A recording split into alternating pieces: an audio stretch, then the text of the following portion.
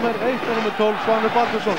Síðan koma nummer 2 Davíð Ólafsson, 3 Freyr Brynjarsson, 4 Kári Guðmundsson, 5 Valgar Þórótsen, 6 Einar Örn Jónsson, 7 Jón Kristjánsson, 8 Ari Allansson, 9 Július Gunnarsson, 10 Ingimar Jónsson, 11 Daniel Ragnarsson, 13 Ingi Raff Jónsson og 14 Theodor Valsson og þjálfari er Jón Kristjánsson. Guðmundur Hafkjelsson er fyrirliði en Reynir Þór Reynisson er einnig fyrirliði í dag hjá fram.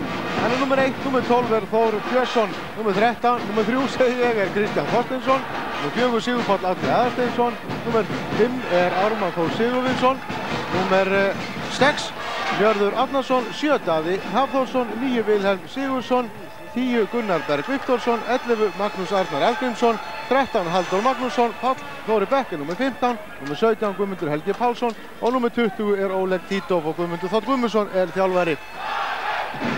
Það eru framarar sem að byrja leikinn. Hér sjáum við Guðjón Eddi Sigursson dómara. Þetta verður erfitt að dæma vantanlega. Það verður öruglega hartbarist. Já, það er alveg, alveg örugt og, og, og við sjáum það að valsminn alltaf byrja þarna í 6-0 vörn. Uh, satt að segja þá held ég svona fyrst að þeir myndu nú uh, stilla upp kannski 3-2-1 vörð. Og hér er Kamski fyrsta markið í, já, það er það, það er mark Sigur Páll Átni Aðarsteinsson skorar hér sitt fyrsta mark í leiknum og fyrsta mark leiksins, staðan 1-0 fyrir fram. Þetta var ekki slæm byrjun. Tiltölulega ein, einfalt mark sem er fá að skora þarna framaröndin. Nú framaröndin þeir spila sína höfbundu 6-0 vörn eins og kannski var svona viðbúið. Og hún er gríðarlega sterk. Já, hún, hún er mjög sterk og svo hefur Reynir verið að standa sig mjög vel fyrir aftan vörnina þannig að þetta er svona það víi sem, að, sem þarf að reyna að brjóta niður og, og hefur verið þeirra aðall núna undanvarna leiki. Já, við sjáum þá þarna á miðjunni, nummer 20 Oleg Títov. Hann er gríðarlega stór og Gunnar Berg Viktorsson nummer 10. Þetta eru tæmlega 20 metra menn báðir og undan til 2 metra. Og svo er Daði Hafþórsson nummer 7. Hann er einnig mjög stór. Nú, nummer 5 er Ármann Sigurvinsson. Hann er nú reyndar ekki eins hár á hinnir en hann er bara þeir mjög grimmari. Hann er geysilega harður. Já, hann er, hann er mjög fljótur að fara út á móti og... Og hér sjáum við það er dæmt leiktöf á valsmenn. Það það er misgrip á uh, Ingarab. Já. Hér kemur hann og brítur af sér. Já, tekur þarna Gunnar Berg. Hér sjáum við þetta aftur. Og framaröndin þeir skipta Gunnari Berg út af Ármanni og, og inn á koma leikstjórnandi Guðmundur Pálsson og, og Magnús skipta hjá þeim. Já, hann er skemmtilega skipta. Hann getur farið í gegn og skotið fyrir utan. Hér er hann í harðri baráttu. Já, hann er mjög, hann er mjög svona kvikur eins og við sáum þarna þegar hann kemur á, á móti Kára að, Kári lendir svona í nauðvörn á, á mótunum. Hér koma framarar. Tekst þeim að bæta við öðru markinu staðan 0-1 eða fram 1, Valur 0 og hér er Daði með skot í stöngina valsminn ábáltanum. Jón Kristjánsson, nú komaði bæði liðin eru eldsnöggi í raðarflöfunum og Daði með skot, það varið frábær markvasta hjá Reyni. Já, hérna. Þetta var virkilega vel gert. Skotið er niðri fast en Reyni tekur hann. Já, vel gert og kannski gefur þetta tónin. Já, framarar enn með einsmarks fórustu. Þetta byrjar vel, það reynda byrjaði vel hjá Víkingum í leiknum gegn stjörnunni hér fyrir í dag. En Guðmundur Rappkjálsson er að verja hér.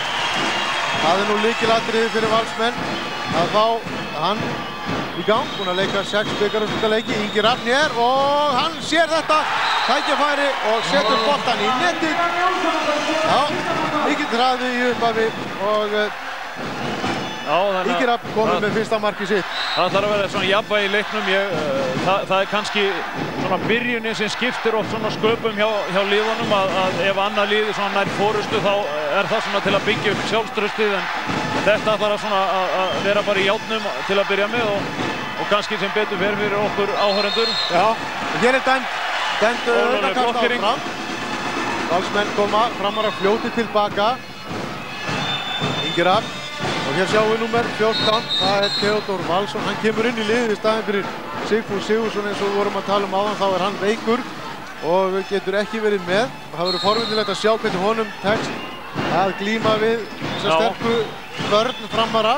Uh, Ted er nú kannski vanur að spila á línunni, það það er nú að segja það en hann hefur svona minna gert hann núna í vetur heldur en, heldur en kannski Sigfús. Þannig að uh, við sjáum til en þetta er nú oft þannig að það kemur maður í mannstað og, og uh, þetta svona jafna sig oft upp þó að einn ein hver og braut og þá kemur bara annar sem bætir það upp. Einmitt. Og hér sjáum við að Július Gunnarsson er kominn í eh, sóknina hjá valsmönnum, nummer nýju. Ingi Raffn á miður, Jón Kristjánsson fyrir utan, stekkur upp og uh, síðan er það Raffn og hann er með gott skott, en nei, ekki nógu gott. Reynir varði og aftur verð Reynir. Já, hérna, Reynir búinn að verja þrjú skott. Og þá kemur Július og skorar. Já, hérna. Július Gunnarsson skorar hér og kemur valsmönnum yfir. Já, þetta var frekar langsótt mark. Reynir varði þarna tvísasinu mjög vel og en það er svona, það er ekki endalust þetta alltaf áfram. Þá koma framarar, auka kast. Þetta, allavega svona þróast í það eins og ég var svona búinn að ímynda mig fyrir leikin að þetta er kannski dagur markvarðana og, það er búið að vera það. Þeir eru báðir búin að verja mjög vel. Já. Þá kemur Magnús, sendir í boltarinn á línu, en það er dæmt lína, missefnu línusending þarna, valsmenn á og geta komist þrepp í 3-1, tveim mörgum yfir. Þeir róa þetta núna niður eða hvað, koma hér. Ingi Rapp. Hann, er ekki hrættur við að Nei, hann, láta sig vaða inn í vörnina eins og við fengið að sjá í dag. Ingi Rafn Jónsson að leika vel fyrir valsmenn. Og svo, svo má segja um framarinn að þeir geta spila 6-0 vörðina mjög aftalega því að þeir eru hávaksnir, Gunnar Berg og, og Tito, þeir eru mjög hávaksnir þannig að þeir þurfa lítið að fara fram þar að leiðandi skapast ekki mikið færi svona fyrir, fyrir varnamennin, nei fyrir línumannin þannig að, að þe þetta er svona, svona kosturum við þetta. valsmenn þurfa þá að reyna að nota, nota hopnin Já og kannski setja boltana á meiri ferð og, og eitthvað svona reyna, eitthvað svona reyna klippingar. Ó, þetta var eitthvað sem að þeir sáu dómararnir en við ekki framarar búin að vinna boltan aftur, boltin út í hotni auka kast, Kannski ruðningur á, á Július. við sjáum þetta aða Hafþórsson, þetta er sterkur strákur og skemmtileg skipta reynir að smegja sér hér í gegn, það er brotið á honum Sjá, Þetta er það Ingi Rann sem er brotlegur. Þá kemur Magnús og Daði með skot. Það mætti segja með það að framar að væri pílítið rægir við Guðmund Trappkjelsson því hann getur, já, hann getur farið í ham. já, já, auðvitað er það náttúrulega þeir eru vel að vanda skotin sín en það sem ég finnst svona einnkynna liði núna uh, til að byrja með að það, það er svona stuttu sóknarleikur svolítið. Kannski spenna. Já, auðvitað er þetta nú einhver spenn en þetta er ákveður það sem kannski þarf að leggja upp fyrir svona leik að, að, að komast inn í leikin og halda boltanum svolítið betur í byrjun. Þannig að, að, að til þess að koma svona í takt í leikin, þannig að, að það þarf að gera það. Já, hér koma framarar, Njörður. Já, Hann er stöðvaður. Þá er stíft aftur upp, Magnús Hallgrímsson. Og boltinn í sverslána, æj, æj, æj. Þetta var Guðmundur Pálsson óheppinn. Þetta var, hann gerði þetta vel og hann er uh, mjög við að smegja sér inn í varnirnar. Já, því að hotnamaður hjá Val eldi njörðu í, þegar hann leist inn og, og Guðmundur Pálsson sá hann mjög gott tækifæri að, að smegja sér inn. Þannig að hann óhefnum í skotið. Já, stönd í festána. Dagan 2-1 fyrir valsmenn, 7,5 mínúta liðin á þessum byggjum Og uh, valsmenn geta auki muninn. Þeir þurfa að uh, yfirstíga sterka vörð framara. Ingi Rapp. Boltum út í hotni á Davíð. Valsmenn eru með góða hotnamenn. Davíð Ólafsson og uh, Valgar Þórótsen. Áður leikurinn til strákar.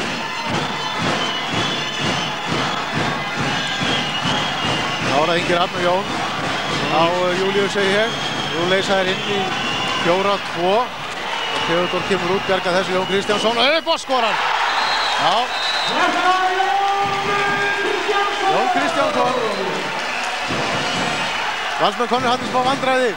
Og Já, Þá, það, þetta var orðið svolítið vandræðilegt spilið og þeir leistu þarna inn úr hotninu og spiluðu með tvo línumenn en, en það var orðið svona, svolítið svona högt í spilinu þannig að Hér er línusending á Títoff og hann skorar. 3-2. Já, þetta er mjög skemmtileg. Þetta hefur oft séð til þeir í vetur að, að Magnús er, er búinn að fá hérna bakverðin fram eins og við sjáum og, og, og síðan rikkir Tito fyrir aftanan og fær sendinguna þannig að þetta, þetta er svona kunnuleg sjón. Það lauma sér hann inn á bakvið. hann, hann er mjög segur um í þessu að koma sér inn í þessi færi. Já, hann er gríðarlega sterkur og að vera alveg ótrúlega drjúur fyrir þetta framlið. Bæði í vörð og svona. Jón Kristjánsson með hrumu skotdómar. Fjögur tvö. Já, hérna. Já, þetta var glæsilegt mark á Jóni. Sjáum þetta hér aftur. Theodor er hérna að reyna að hjálpa honum og það gengur upp. Kemur skotið á næstöngina og reynir nær í til að verja. Það skiptir miklu máli fyrir valsmenn að fá Jón í gang. Já, já, hann, eh, hann er gífurlega mikilvæg póstur hérna og, og, og svona akkeri liðsins. Það hefur verið svona spurt um það hvort þetta há ekki að vera þjálfarinn, hann er orðið vannur þessu, þannig að en auðvitað gerir það alltaf. Já, Hann er- hann að sjá þetta- aftur hann að lenda þér í vandræðum, að leysa mjög svipa dæmi á áðan og fá hann að fær guld spjald fyrir að, að, að halda í sveisuna hjá Já. Þannig að þetta, þetta, er mjög, þetta er mjög rétt sko. Svona, já, rússablokkurinn, Já, þetta er svona, nokkur skonar. já, svona orginal. Og þeir missa bóttan framarar, ekkert dæm. Og Davíð, nei, missafnir sending, Óleg Tito vinnur bóttan fyrir framara. Og þá komaður njörður í gegn og þetta er vítakast, lítur, nei. Ég heldur hann bara flæks saman fótónum hann það. Já, síndist þarna að vera einhver smá bakrinding, sjáum við þetta, nei, já, já. Framarar ekki ánægði með þetta vilja fá vítakast. En uh, brotið á sér staðreindar fyrir utan puntalínu. Og Guðmundur Já, er að löpina sínum mannum já, hann er, mér, sýnist það á Gumma svona, með það sem ég þekki hann þá, þá er hann svolítið svona stressaður núna í byrjun.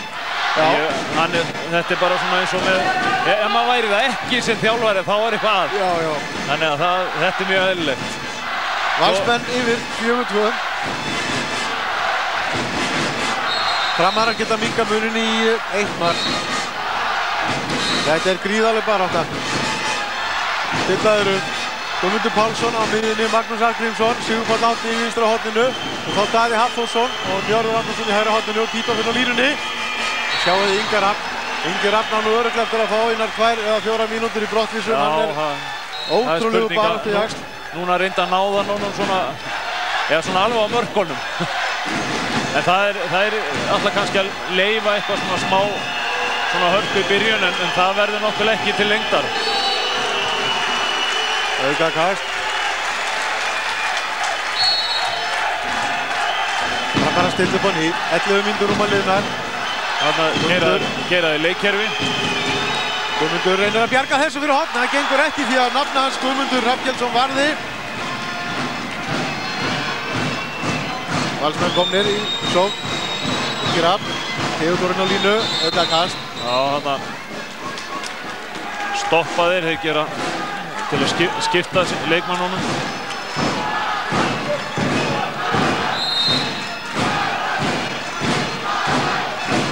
Tekst valsmönnum að auka munu nú er komin inn á í leikstjórnandalutverki Ari Allansson. Já, kvíla yngarab. Hér er hann. Nei. Auka kast og Theodor Valsson kemur út. Tekur auka kast í Július fyrir utan hægra megin. Jón Kristjánsson fyrir utan vinstra megin. Og Ari með skott en reynir ver. Og framar að vinna boltan. Já, þetta var ekki nógu gott skott. Nei, og Davíð var- kemur upp og skott. En Og aftur fyrir. Já, mér síndist nú. Já, það er leiklið. Mér síndist nú bolti fara í varnamanni, það hefur verið við þess að. Það er leiklið tekið. Já, va, va, Valur tekur leiklið. Þannig að eh, mér, mér finnst það reyndar mjög skrítið að Já. skuli vera því og, og spurning hvort að þetta gæti breytt ykkur, jável fyrir framarana. Þetta, þetta er alltaf svona eins og eftir þessi leikli komu sko, þá hefur verið svona mikil umræðum það hvenar á að taka leikli og og eh, svona mitt álit er það að eins og í fyrri hálfleika þá ef að annað liðið er að stinga af að þá að reyna svona eðilegja tempóið. En að því þetta er bara eitt leiklið í hvorum hálfleik að þá verður maður að vera svolítið spara á leiklið í setni hálfleika því að maður getur verið í vandræðum alveg í restin og þá getur verið gott að eiga, eiga inn í leiklið. Og þannig að, að þetta ég er eiginlega svona hlindur í að við fáum tvö leiklið í hálfleik. hálfleik, já. já, mér finnst það betra. Já, og þú ert ánægð með þessi leiklið. Já, ég er mjög ánæður. Ég, þetta, þetta er mjög þægilegt fyrir þjálfarinn að hafa þetta. Mjög Þú nöðsynlegt. getur róað leikmenn niður Já. og... Það er kannski búið að vera algjört bull í gangi og þá tekur maður aðeins og aðeins að tala við það og, og þá byrja menn svona að hugsa rökriðt aftur. 12,5 mínúta liðin af fyrri hálfleik í viðreik fram og vals. Staðan 4-2 valsmönnum í hag. Upp kemur Július og Ari þetta gengur illa framvarar. Eru öflugir í vörninni og valsmenn kasta boltanum út af. Já, Guðmundur er hann mikið. Já, Val, Valgar kasta, framarar fá hér tækifæri til að skora þriðja mark sitt. Tvö mörg á 13 mínútum. Ég held að. Guðmundur sé nú ekki ánægð með það. nei það er ábyggilega ekki það sem að Guðmundur hefur ábyggilega að hugsa sig fyrir leikina. Og þetta er mjög óvinnilegt, það skulle bara vera 4-2 og, og, og 13 myndur búin á leiknum. Það, það er mjög eh, einkennilegt. Já, menn kannski þor ekki að taka mikla áhættu. Nei, nei, menn eru varkáru, reyndar er þetta búið að vera dálítið svona feilar eins og við sáum núna áðan, feilsendingar, uh, feilgrip og, og alls konar svona, svona í gangi. Hér er línu sending inn á Titoff og hann skora. Já, hérna. Vi, við, sáum, við sáum þetta áðan líka, Já, já. nákvæmlega eins. Hann Þarna sér hér á bakvið. Já, hann laumar sér á bakvið. Og svo horfir hann á Guðmund. Já, Og svo um leið og Guðmundur er búinn að ja, selja sig að þá. já, hann er Yfir. kominn í loftið, hann getur ekki breytt því sem hann er að gera og hann er mjög útsjónarsamur með það hann Títoff að, að sjá hvernig markmaðurinn er búinn að staðstilla sig. Já, frábær leikmaður, Ólið Titoff. Þá er eitthvað í gangi hjá valsmönnum. Leikjærum mistókst, laupið mistókst hjá Davíð. En hér er sendingin á Theodor Valsson. Skora. 5-3. Já, gott mark hjá uh, Theodor. Hann gerði þetta vel, beið og horfið á Reyni og. Reynir lokaði þarna fótunum og uh, mark staðan 5-3 ennþá tveggja marka munur valsmunum í hag Magnús Akrimsson og frábær markvasta hjá Guðmundi Já. og dæmt lína á Guðmund Pálsson. Lína. Já, þetta var vel varði hjá Guðmundi. Já, þetta, sjáum þetta hér aftur. Magnús stekkur hér upp. Gott skot en vel varði á Guðmundi og síðan kemur og það er dæmt lína á Guðmund Já. Guðmundur Rafkjelsson búinn að verja ja, fjögur skot samkvæmt mínum bókum. Já, og eins reynir hér kemur Davíð út úr hotninu Ísefnum sending á Jón. En Njörður gerði þetta vel, trublaði Davíð. Þá kemur Jón Kristjánsson, var auka kast. Guld spjald á Títov já, þarna metur hann uh, það dómarinn að hann sé aftan í honum þannig að, að hann séru það. Já. Þannig að, uh, jú, ég held þetta sé nú alveg rétt, sko. þá koma valsmenn. Nú sjáum við að Jón Kristjánsson er á miðjunni. Þá hlýtur uh, Ari Allansson að laupa hér einhver, í einhverju leikkerfi jæja við skulum sjá. Július fyrir gegn ekkert dæmt. Og bóttir út í hotnið og Valgar í gegn og reynir ver Já, þetta var á þraun fyrir Valgar og uh, framarar komnir hér í ræðarflög Daði upp með þrjumur skot en Guðmundur ver dæmt aukakast. Já, þetta er gott. Já, vel gert hjá Guðmundur. Guðmundur er að spila mjög vel. Já, og, og Reynir, hann er, hann er, uh, þetta var mjög vel gert hjá honum á. Já, þeir báðir búin að spila vel. Framarar geta minga munni 5-4. Staðan 5-3 og 16 myndu linar að fyrir hálfleik daði Guðmundur Pálsson og inn á Títom og sjáu þið hér er bara mikil bara átt Já, að það er mikil, mikil barátta. Hári held þarna vel í Títom þannig að hann náði ekki að grípa bóttan. Það kemur Magnús. Guðmundur. Magnús á Sigur Pál Átna. Guðmundur Pálsson í gegn. Frábært mark. Og tökum eftir því endursýningunni hvað Ólef Títoff gerði til að Já, hjálpa Guðmundi. Var Þannig mjög tók hann blokkeringu einmitt fyrir, fyrir Guðmund þarna, serðu. Smegið Þannig að varnamæðurinn næri ekki að stoppa. Virkilega vel gert. Já, þetta var Þetta mark. virkilega vel. Pálsson Hann hefur spilað byggarústundaleik áður með Víkingi Já, Sonur Páls þetta er það ekki verið á móti Gamla. eh, Káa. í Víking Var það með Ká? Spilaði hann með Káa? Já, hann spilaði með Víking á móti Káa. Já, móti Káa, já. Já, Já, sonur Páls Björgvinsson ætlaði ég að segja, fann ekki höfðunafni þarna á þann. En hér koma framara, þeir vinna bóltan, staðan 5-4. Framara komin í ræðiplöp og Gunnar Berg hættir við. Og Valstum búinir að loka núna. Framara haldur þó áfram á leikjærni hér. Og línusending segi ég. Og Guðmundur ver. Já. Guðmundur Hafgjelsson varði þetta mjög vel. Hraðaðurklöp framara helt áfram þó svo að valsvörnum væri komin af stað og Guðmundur varði þetta vel. Já, sex skot var einn hjá Guðmundur Hafgjaldsinni. já, það er, Ára Ari á miðunni, Ingi Rapp sittur á bekknum. Davíð leysir inn á línu og framvörnin er sterk og nú vil ég fá leiktu framara Jón Kristjánssonu og ekkert há, Július nær að plaka boltanum með Sigurpáll, Átni og Anni, hann ver þetta! Ég er svo aldeilis hissa. Þetta var reynd ótrúlega markvæmsta. Já, hérna. Sjáuð þið þetta. Sigurpáll Átni Aðaltinsson, hann er nú ekki vanur að klikka í döðaþarfum. nei, þetta, hann, þetta er ekki oft sem hann, sem hann hérna nýtir ekki svona færi. Bara mjög sjaldan sem hann sér þetta til hans. Já, Guðmundur varði þetta reynd stórkostlega. Sjáum þetta aftur. Já, hann Hann kemur hérna með smá gafreifingu, stekkur síðan upp. og Guðmundur út ver. hendina. Já, Það er verið að þurrka hér gólfið og meðan getum við skemmt okkur við að Jón. horfa á þetta aftur. Þarna var nú reynslan. já, og skoti hérna sem að framarandi fengu hérna hraðaflug upp úr það var uh, þegar Jón skaut hérna í hávörnina og, og þetta svona sannar enn einu sinni sko hvað hvað er erfitt að koma skotunum yfir af því þeir eru mjög hávastnir þarna varði Gunnar Berg í, há, í hávörnin á hann Marka talar mjög lág, 5-4 og rétt uh, tæpar 12 mínútur eftir að fyrri hálfleik. Jón Kristjánsson og þá yngir að hann uh, í vandræðum, valsmenn í vandræðum, dæmdur leiktöf. Framar er að spila fantagóða vörn var þetta leiktöf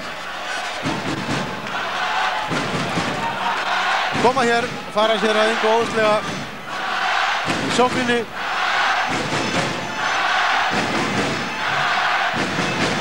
Sjáum að Guðmundur hefur í mörg horn að líta, þjálfari.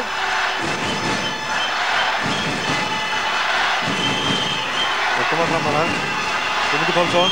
Og fallega línusendi frá Magnús inn á Títon. Og þarna er leiðin. Þarna er leiðin.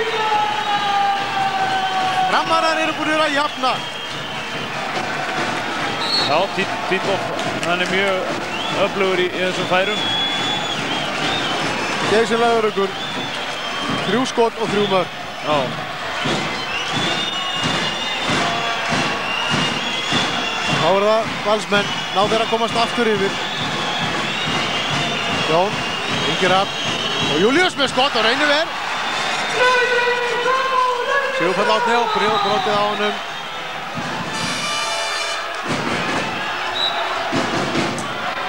Sjáum þetta hér. Já, þetta var sniðulega gert hjá Theodor. Náða að stoppa þetta framharma. Rétt rúmar 10 mínútur eftir að fyrri hálfleik, staðan 5-5. Ná framarar að komast yfir í þessari sók. Framarar skoruðu fyrsta markið í leiknum og komist þar með yfir. þetta var ruðningur Og hér er dæmdur ruðningur af framarann já. Valsmenn koma í hraðaplöp, Jón hættir við að senda á Davíð, hér kemur sendingin. Og þá Ingi Rapp. Og Ingi Rapp, nei, ég róa þetta niður, hann voru einhver slagsmál á uh, línunni. Já, ég held að þetta er nú verið óvart. Hann rakk olbóðan hann upp í högun á hann. Mér syndist það að þetta veri algjört óvilja verð. Og við svona rétt mistum aðeins, jú, jú, þetta hefur Já. alveg örglega verið óvart. Hann er nú ekki þekktur fyrir uh, að vera grófur, hann Gunnar Berg, þá hann sé Nei, sterkur í nei, hann er, hann er mjög heiðarlegur í völdinni. Það koma valsmenn Ingi Rapp og Jón Kristjánsson. Ingi, og hér er komin inn á Daniel S. Ragnarsson, nummer 11, og Jón með lúmskotið framjá. Já, valsmennum gengur akkurat ekki neitt núna í sókninni. framvörðin er gríðarlega sterk. Já, hún er mjög, öflug. Þetta, þeir verða að hreyfa vörnina miklu meira en þetta þeir að koma almennlegum færum, eða almennlegum svona skotfærum á vörnina. Þannig að þetta er alls ekki, alls ekki nógu gott. Framar að fá aftur tækifæri til að skora sjötta markið. 5-5. Guðmundur nú leysar hann inn á línu og Magnús með skot. En hver haldið þið að verji? Guðmundur Hafkjelsson búinn að verja eina áttabotta. Já, Guðmundur er eiginlega að halda valsmunum hérna inn í leiknum.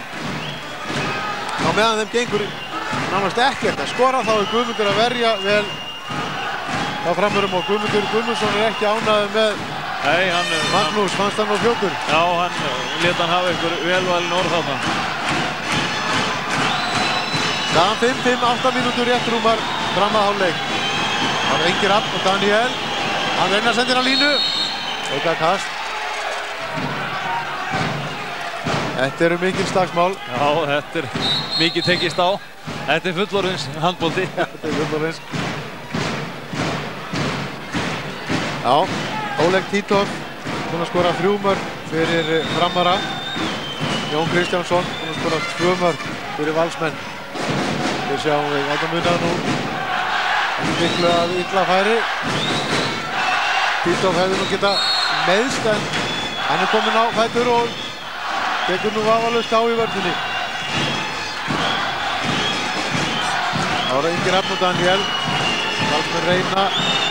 Það er Getak, opna glöfu og Ingi Raffn og hann gengur. Hann skorar langt frá marka valsmönnum. Og þarna er mitt sá við að svona hreyfa vörnin aðeins meira. Létu, létu, tóku Títov út þarna þannig að Gunnar Berg þurfti að fara þarna einmitt í, í varadekningu og, og þá lendir Ingi Raffn einn á mót einum. Þannig að svona einhvern veginn verða þeir að, að gera og, og núna hugsanlega las gummiðinn, jú, jú. Og já, já, þetta er gott mark hjá Sigur Páli.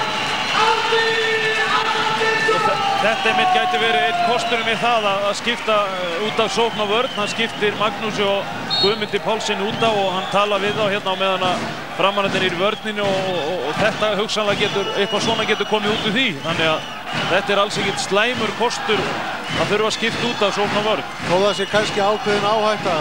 Já, já, þó það sé áhætta. En, En menn gera það ekki nema, nema það sé nokkur meginn örugt að fá ekki hraðiblum í andliti. Já, já. Það var Daniel Hannu, skot í vörnina, reynir ver, lítur fram og kastar. Daði, Jörður, æjæjæj, slæm sending frá Daða. Valsmenn hefnir þarna. Stilla hér upp í sók. Guðmundur að lesa yfir sínum mönnum.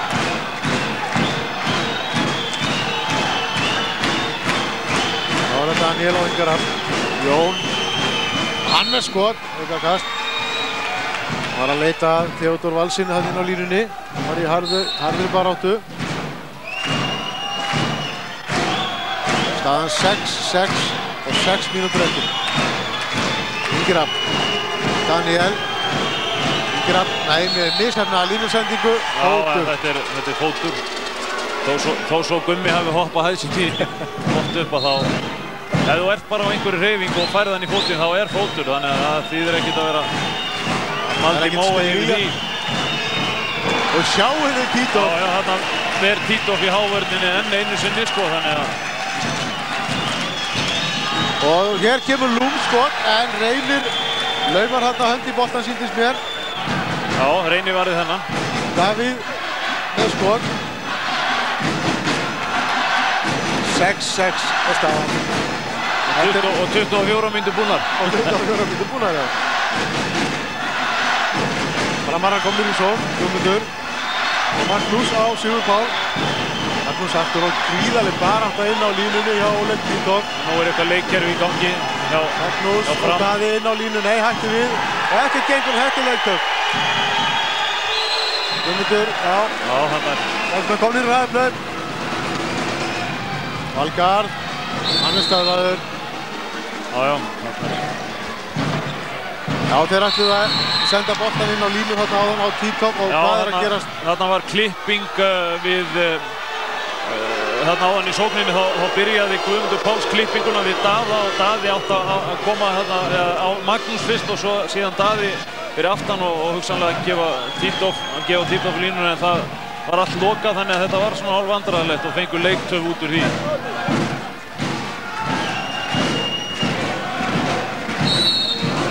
Valsmenn í sókn, staðan 6-6. Skamt eftir af fyrirháleik. Voru Jón. Ingi Rapp, og hann sækir hér að vörðinni og sjáu þið hvað þeir eru sterkir. Og Ingi Rapp verður nú að passa sig. Ingi Rapp, hvað er hér tveikja mínuna brottri sem fyrir að svona sparka til Daða. Já, já. Hann er mikill keppnismæður. Já, hann er mikið kemsmaður. En það er náttúrulega, við sjáum þetta hérna núna, hann tekur á honum þarna hraustlega og svo barkar hann í hann. Aðeins fylgir. Jú, jú, það verður náttúrulega menn verið að gjalda fyrir það sem þið gera. það, það þýðir ekkert að í móinu við því. Nei, nei. Valsmenn einu færri. Fjóra mínútur eftir að fyrir hálfleik. Ari Allansson kemur inn að nú sleppaði því að spila með línumann. nú, taka þér Jón út. Þetta er mjög, mjög rökrétt að einmitt að gera þetta að, að, eh, að taka Jón út úr spilinu því hann er náttúrulega svona líkillinn í því kannski að fá fríkost og svona og, og, og getur komið á vörðin á og skorað hann já, með hugsanlega getur hann það. fjölag skot. Hér kemur hann fær boltan og. Ari og þá Daniel þeir verða að fara að sækja fríkastið. Það er dæmdur auðningur. Já, Daniel mér, Ragnarsson. þetta fannst mér hins vegar einkennilegt.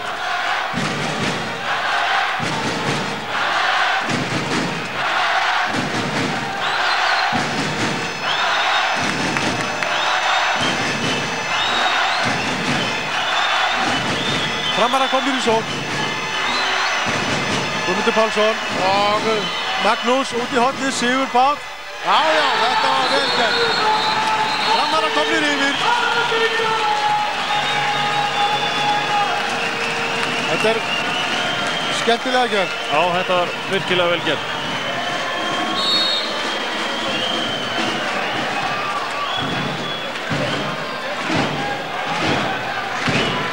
gert. Vel gert hjá Sigur Páli Átna.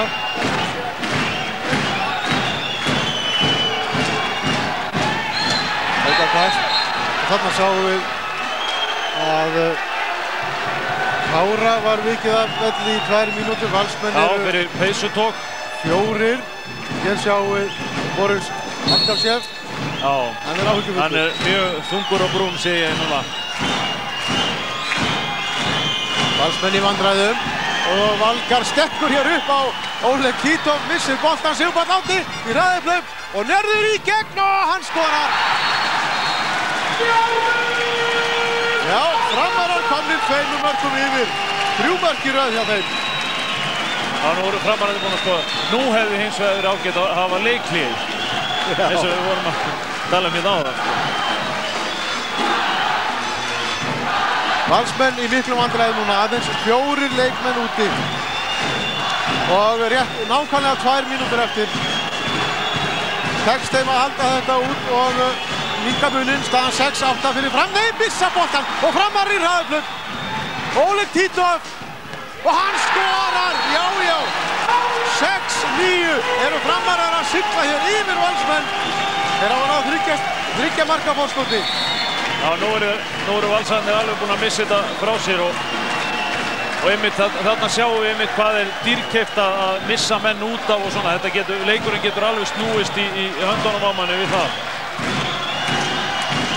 Ingi Rafn og hann í gegn og þetta er vítakast. Og tvær mínútur. Það er Já, þarna var, þarna gekk hann aðeins og langt, Já, Tito. hann, hann ítti aðeins og lengi á hann. En þetta er bara svona í samræmi við annað bara í, í, eins og þeir eru búin að dæma. Þeir leifa ákveði og, og ákveði sem þeir taka mjög hart á. Já, nú ég held hann hefði fengið vítakast þarna, en Já, Jæja, ég dæm ekki. Aukakast, valsmenn uh, orður 5 núna og framarar líka 5 úti og svona sjálfsögðu markverðinir og hann er, er hann reynir að verja. Já, reynir Þór Reynisson komið með 8 skotvarinn. Já, vel gert hjá Reynir. Fast skot. Ein mínúta eftir. Rétt hægt. Sól, staðan 6-9, náður aukamunni fyrir leikli og Magnús Hallgrímsson auka kast. Nei, Eða skrif. skref á hann, jæja, valsmönnum. Gefst þið tækifæri til að minka munin. Bóttir út í hotið og inn á línu. Ó, margt! Já, Theodor Valsson. Þetta var mikilvægt fyrir valsmenn.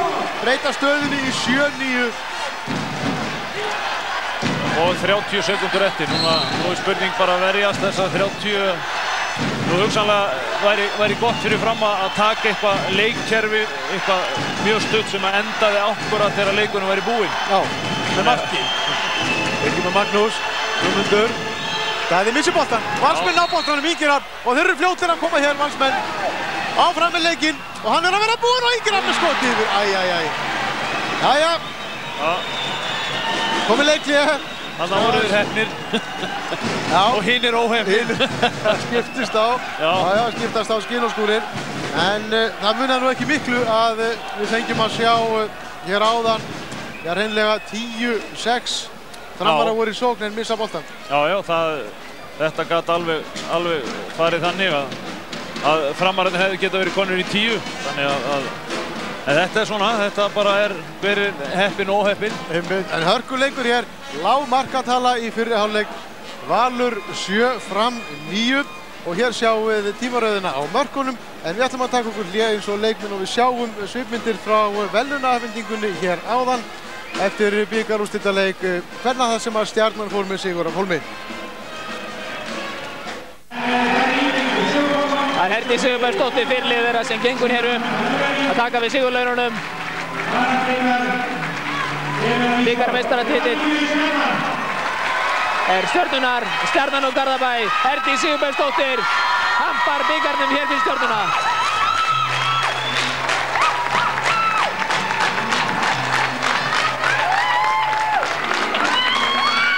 Og nú gengur hann að myndi þeirra stúlna til leikum vel fyrir hönd Garðbæinga í dag. Það eru fjölmargir stuðningsmenn Garðbæinga sem eru hér í dag og stunda okkar sína menn. Herdi Sigurbergsdóttir leiðir þetta lið til sigur sér í dag gegn vikingum í skemmtilegum handbóltaleik. Spennu drungin.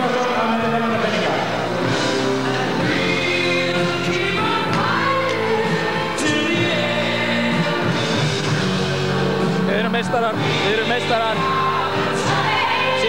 Syngja Garbækar.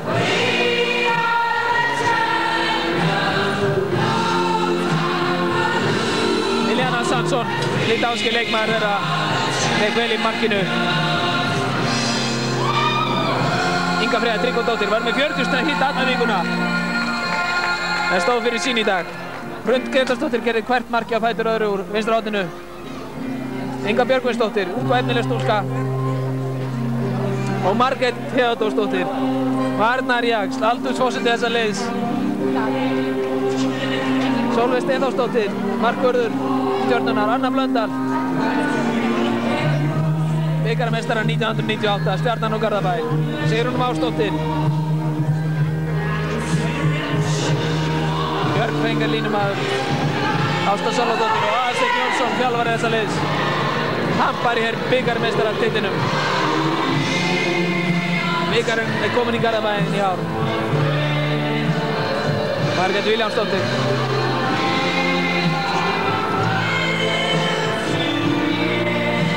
Og Linjana Satsson kom til liðs við félagi nú í haust og stóð fyrir svo sannarlega fyrir sín í dag. Og hér sjáum við Ínum Björnsdóttur. Þeir eru hvert marki á fætur öðru í fyriráleik og hér sjáum við Sóli Halldórsdóttur. Markvarður liðsvistu marga ára nýkominu batendafrí og ætlar að leika með núna í vor og Aðarsteinn Jónsson, þjálfari bygg, byggarmestara stjórnunar. Og það verður sigurhátti í Garðabænum í kvöld. Og hér pakka leikmenn stjórnunar vikingum fyrir leikinn og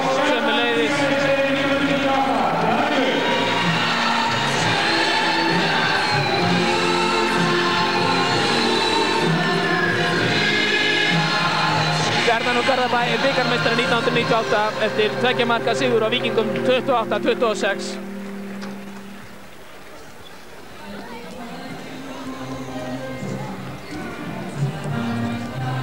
Ítrekar og handhæðisleita stjörnuna í stjörnuheimilinu númer 2. Þar við hitta byggarmeistarana stjörnuna.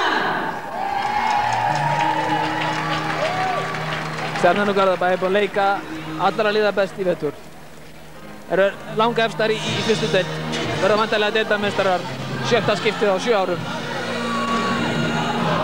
Og þær náðu að innbyrða byggarmeistartitil í ár eins og flestir sérfræðingar höfðu spáð.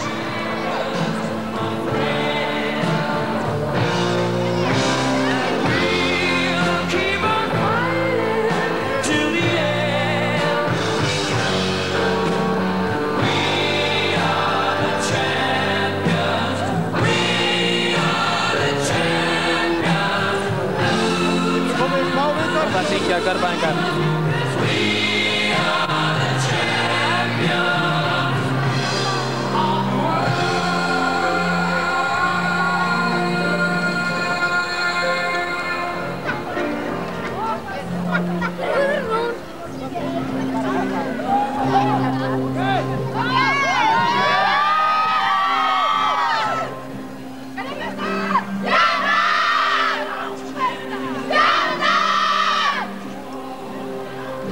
Hér sjáum við sigurliði stjórnunar. Fríður hópur stjórnunar spila sigrunum dag. Þetta liði sýndi styrk sinn. Og nú koma þær í sigur ringin. Nú hlaupa þær hér ring um lögatarsöllina. Byggarmeistarar stjórnunar 1998. Stjarnan úr Garðabæ.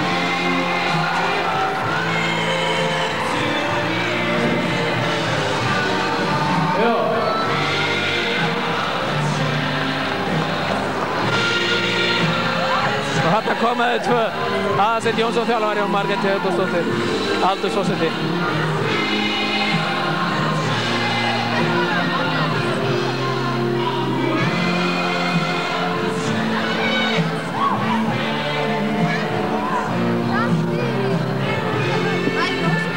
Og ég veit að eh, Geir Magnússon hefur gripið Herdís er til hamingju. Takk fyrir það. Þetta lítur að vera ánægilegt. Mjög svo. Þetta er, þetta er, já þetta er æði. En þið byrjuðu ákvæmlega illa, var þetta taugaspenningur eða? Já, já, við áttum alveg svona því að, að annar liði myndi fara yfir tveim, þreymur, mörgum, hvert lið sem væri. Og hérna, þetta er náttúrulega bara byggjast leikur og það er ekkert hægt fyrir að búa að flauta af og það er það sem við gerðum í dag. Það gekk uh, ekki eins vel í, í setni hálfleik, Víkingstelpur komu grima. Voru þið hrættar um að þetta fóristan færi? Já, veistu það, það þó að við förum inn með þetta, þetta markvar, eh, svona mörgum mörgum yfir í hálfleik, að það, hérna, það skiptir engu. Við náttúrulega bara förum inn og náttúrulega ákveðnar komandi leiks og gera betur. En við vitum alveg að þetta er, að ég veit að þetta er bara, þetta er, þetta er svo rosalega erfið leikir að hérna, það er eins og ég segi, það er bara barist, þá getur flautað þér af og þá er þessi standu upp sem sigurvegarar. Það voru við. Til hamingju. Takk. Herdís Sigurbjörnsdóttir, fyrirliði stjörnunar, veitilið sitt, byggarmestaratitil sér í dag í Ljóðarsöld. Besti leikmaðurliðsins hérna veitur og hún stóð svo sannlega fyrir sínu í dag.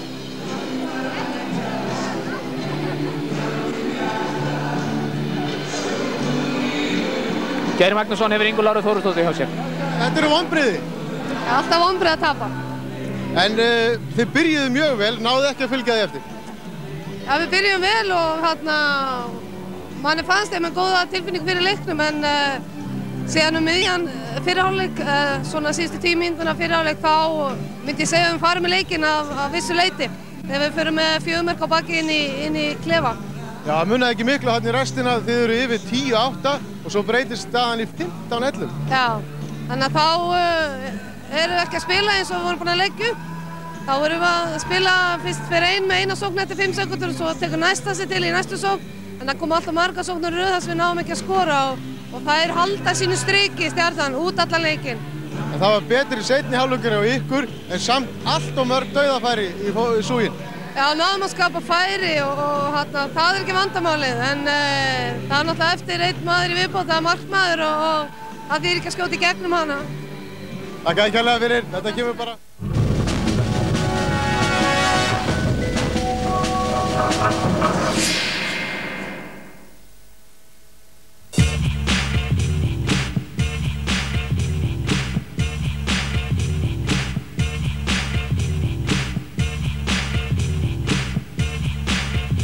Vetrar olimpíuleikarnir í Nagano í Japan eru í sviðsljósi sjónvarpsins þessa dagana. Fylgist með beinum útsendingum og olimpíuhorninu klukkan 7 alla daga. Eftirtaldir styrkja útsendingar frá vetrarolimpíuleikonum. Landsímin. Okkar á milli. Lotto. Miljónir í hverri viku. Sparisjóðirnir. Fyrir þig og þína. Vísa. Léttir lífið. Coca-Cola. Fyrir fjöldan. Samskip. Leiðin að settu marki. Japis. Hljómar betur. Og Toyota er bíl vetrarolimpíuleikana 1998.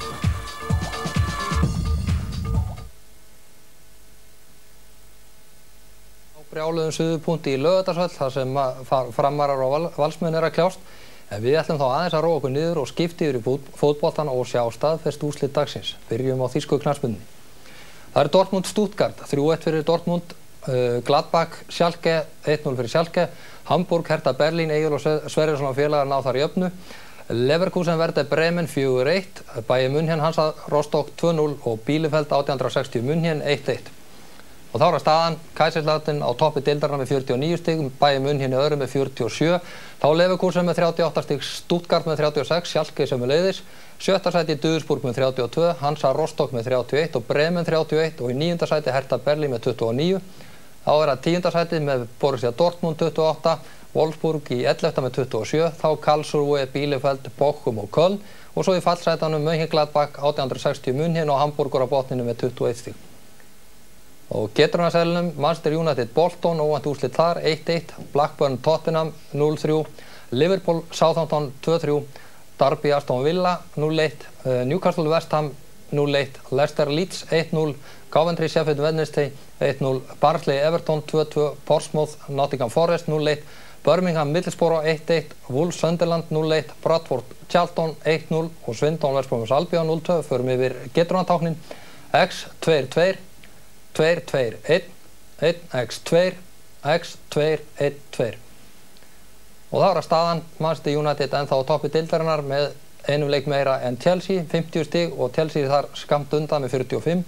Liverpool í þriðarsæti með 45, Blackburn 45, fymtarsæti Arsenal með 41, þá Derby County með 39, Leeds United með 38, West Ham United sömu leiðis, nýjundarsæti Leicester City með 36, tíundarsæti Newcastle með 32, Þá er neðri hlutinn Southampton með 31 stík, 12. sæti Coventry með 30, þá Aston Villa 30 og Sheffield Wednesday sömulegis, 15. sæti Everton 28, þá Wimbledon 26 og Tottenham með 26 og í fallsætanum sitja Crystal Palace 23, Bolton Wanderers með 23 og Barnsley með 22.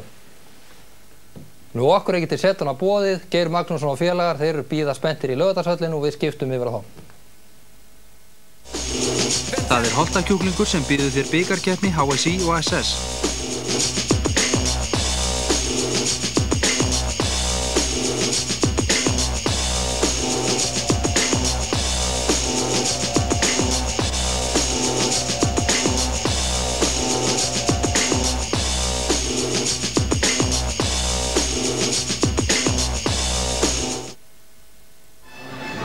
Já, við þakkum Lárusi Guðmundssoni fyrir þetta og uh, hér er að hefjast síðara hálfleikur í viðregn fram og valstaðan 7-9 fyrir fram en uh, Þorbjörn, þetta var hörku fyrir hálfleikur. Já, já, þetta, þetta var alveg í játnum þanga til að, eh, að valsmenn mistu þarna leikminn út af og þá fóru framarandi þrjú mörg fram úr val þannig að, að hérna en uh, þetta er svona aðeins fara að jafnast aftur og þetta er mjög óveinilegt að skuli vera uh, svona látt skor í hálfleik 7-9 þannig að, að en ég hef nú einhvern veginn samt trú á því að þetta fari yfir 20 Já, það, það- er oft svona sagan segir það að, að það er skora meiri í setni hálfleik heldur heldur en í fyrri Það er svona losnar aðeins um magan kannski. Já. En það var aðtillisvert að staðan var 6-5 valsmunum í hag.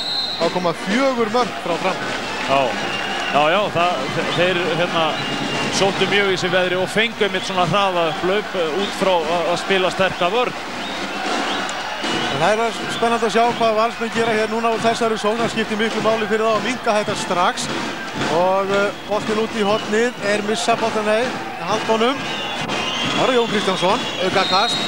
Hann Sigurvinsson sterkur, kemur út á móti. Theodor Val Valsson á uh, línunni. Og þar sakna valsmenn Sigfúsa Sigurðssonar. En við oft fengið að sjá, já, er- leiktöf, við Já, fengið já, að sjá andraðagang hjá valsmennum í sókninni. Já, þetta, þetta var ekki spurning, þetta var leiktöf og, jável aðeins, aðeins fyrr. Því að það, það var nákvæmlega ekkert að gerast og, og það svolítið, var svolítið skrítið að því að framarinn voru fimm í vörn á móti sex, sex valsmönnum, þannig að þetta var mjög klöfalegt. Það koma framarar. Títof á línunni, Guðmundur að stjórna leiknum eins og í fyrir hálfleik. Sigurbjörn átni leipurinn á lína núna, Daði Hafbólsson. Og glæsileg sjáuði, þetta er alveg hreint með ólíkindum. Hvernig er þetta hægt? Og Títof enn, enn einu sinni. Já. Sjáuði, hann tekur já. með annari handinni. Hér kemur þetta, hann er með mann í bakinu, snýr bak í markið. Það er, Frábær. það er alveg saman hvernig hann fær boltan, hann, hann skorar á öllu. Þetta er Já, alveg já, Það er ekki spurning. Ég veist hann hefði nú fengið víti út af þetta ef að, að hérna, hann hefði ekki skorað. Vílíkur leikmaður, kom með 5 mörg, 7-10 er staðan og eh, valsmenn verða hreinlega að skora úr þessari sókn. Hér er Ari Allansson og hann skorar, já, já. Laglega gert hjá honum, staðan 8-10. Sjáum hann hér. Rikkir hér til hliðar og upp og skorar. Ótrúlega hvernig þetta fór í gegn. Já, það skilur ekki að þeir, þeir reyni þetta þarna á miðjunni, en hér koma framarar, tekst þeim að auka munin aftur í þrjumörn. 8-10 er staðan, framarum í hag. Guðmundur Pálsson, boltinn gengur rætt á milli og hér er Guðmundur í það. Þetta er vítakast, já. Þeir hlupu þarna eftir línunni og Já. lokuðu, náðu að klemma. Þetta er ekki ruðningur því að þeir eru þarna á hreinund á Þetta fullu. er- Já, það er spurning um að sjá þetta aðeins aftur. Það, það fyrir eftir í hvar er... Nei, það, það er nefnilega ekki málið. Þeir eru báðið fyrir utan Þeir tegin. eru báðir fyrir utan, já. Já. Ég sá, mér síndist þeir vera á línunni eins Þá, og er- þá er dómarar. annarkvort ruðningur á hann eða fríkast, sko. Mjög sennilega fríkast að því þeir hoppa fyrir hann, sko. Þannig að, að, að en þetta var ekki vítið. Það, þeir voru ekki fyrir innan teg allavega. Já, ég skal geta það honum í það. Já, já. En það er vítakast samt. En það, það, er nú, það er nú eins og þannig, við ráðum yngum með þetta. Að við erum alveg lausið við það. Já. Og Sigur Páll Átni Guðmundur til Varnar og hann skorar. 8-11 er staðan. Sigur Páll Árni Aðalstinsson komið með fjögum mörg. Já, já. Hann er búinn að vera drjúgur fyrir framara. Hann er, hann er búinn að vera mjög drjúgur í vetur fyrir hjá framverðum og nýtti með færi sín mjög vel. Já, sennilega með einhverja bestu vikingu á að þessu kosti hornamönnum. Hér koma landsmenn. Ari, nei, alltaf að lauma bóttanum inn á línu. Framvörðin er sterk. Þetta er geysilega erfið fyrir valsmenn. Og Daniel hér, nummer 11, ekki náð að sína sitt rétta andlit. Kannski má reyna meira og sjáu þið Jón Kristjánsson. Hann leggir bóttan hann í netið. 9-11 Þetta er nánast bara einstaklingsframtak í honum Já, þarna- Theodor er hérna aðeins að tröfla Já, og, og, og þeir eru að taka klippingu þarna, þannig að en hann hætti við að gefa. Þá koma framarar Daði, mikil barátt á línu og Daði með gott mark. 9-12 Daði Hafþórsson loksins komin á blað. Já, já, þannig er einmitt eins og, eins og svona þeir sem eru í boltanu þekkjan sko og mjög uh, skrítið að hann skulle ekki hafa svona reynd meira í fyrirháleik en hann er kannski að fara í gang og, og þá er það mjög gott fyrir framarana. Já, þetta var svolítið skemmtilegt skot. Já, því hann er mjög öflug, öflug skytta. Já, hann setti bolta hann í golfið svolítið fyrir framan Guðmund Já, Jón Kristjánsson reynir fyrir sér horn. Mikil barátta í vörð framara og hún hefur svo sannarlega skilað sér. Valsmenn aðeins skorað nýju mörg framara konum með 12 Valsmenn láta boltan ganga hérna og reyna að finna glöfur á sterkri vörð framara. Davíð og Ari með skot og reynir ver Nei, á Nei, það var uh, vörnin. Já, það er hotn. Theodor á Ara. Jón. Og Kristjánsson. Og þetta er skot sem er varið á einu mísefna skot. Vörnin var við þetta. Og hér kemur Guðmundur og hann ver og auka kast. Guðmundur varðið þarna frá Gunnari Berg. Já, það er svona spurning hvort að ja, hva- hvert leikurinn er að fara núna. Það er svolítið Já, mistök. það, það, það er allavega að þeir halda þessu þryggja þeir eru búin að bæta við einu, þeir eru búin að skora þrjú mörg núna í setni hálfleik á móti tveimur mörgum valsmanna þannig að, að eh, ef þeir spila að skynsum og ná að halda þessu náttúrulega þá, þá, þá er það mjög erfitt fyrir, fyrir valsanum að komast upp að hliðina á þeim Það er spurning hvort að eh, Guðmundur nái að loka og valsmenn nái að jafna þetta hægt og sígandi. Það tekur tíma. Þeir verða að vera þólimóðir í sókninni. Framvörðin er ótrúlega sterk. Við höfum ekki fengið að sjá mikið úr hotnunum. Það verður Ari og hann er tekið festum tökum.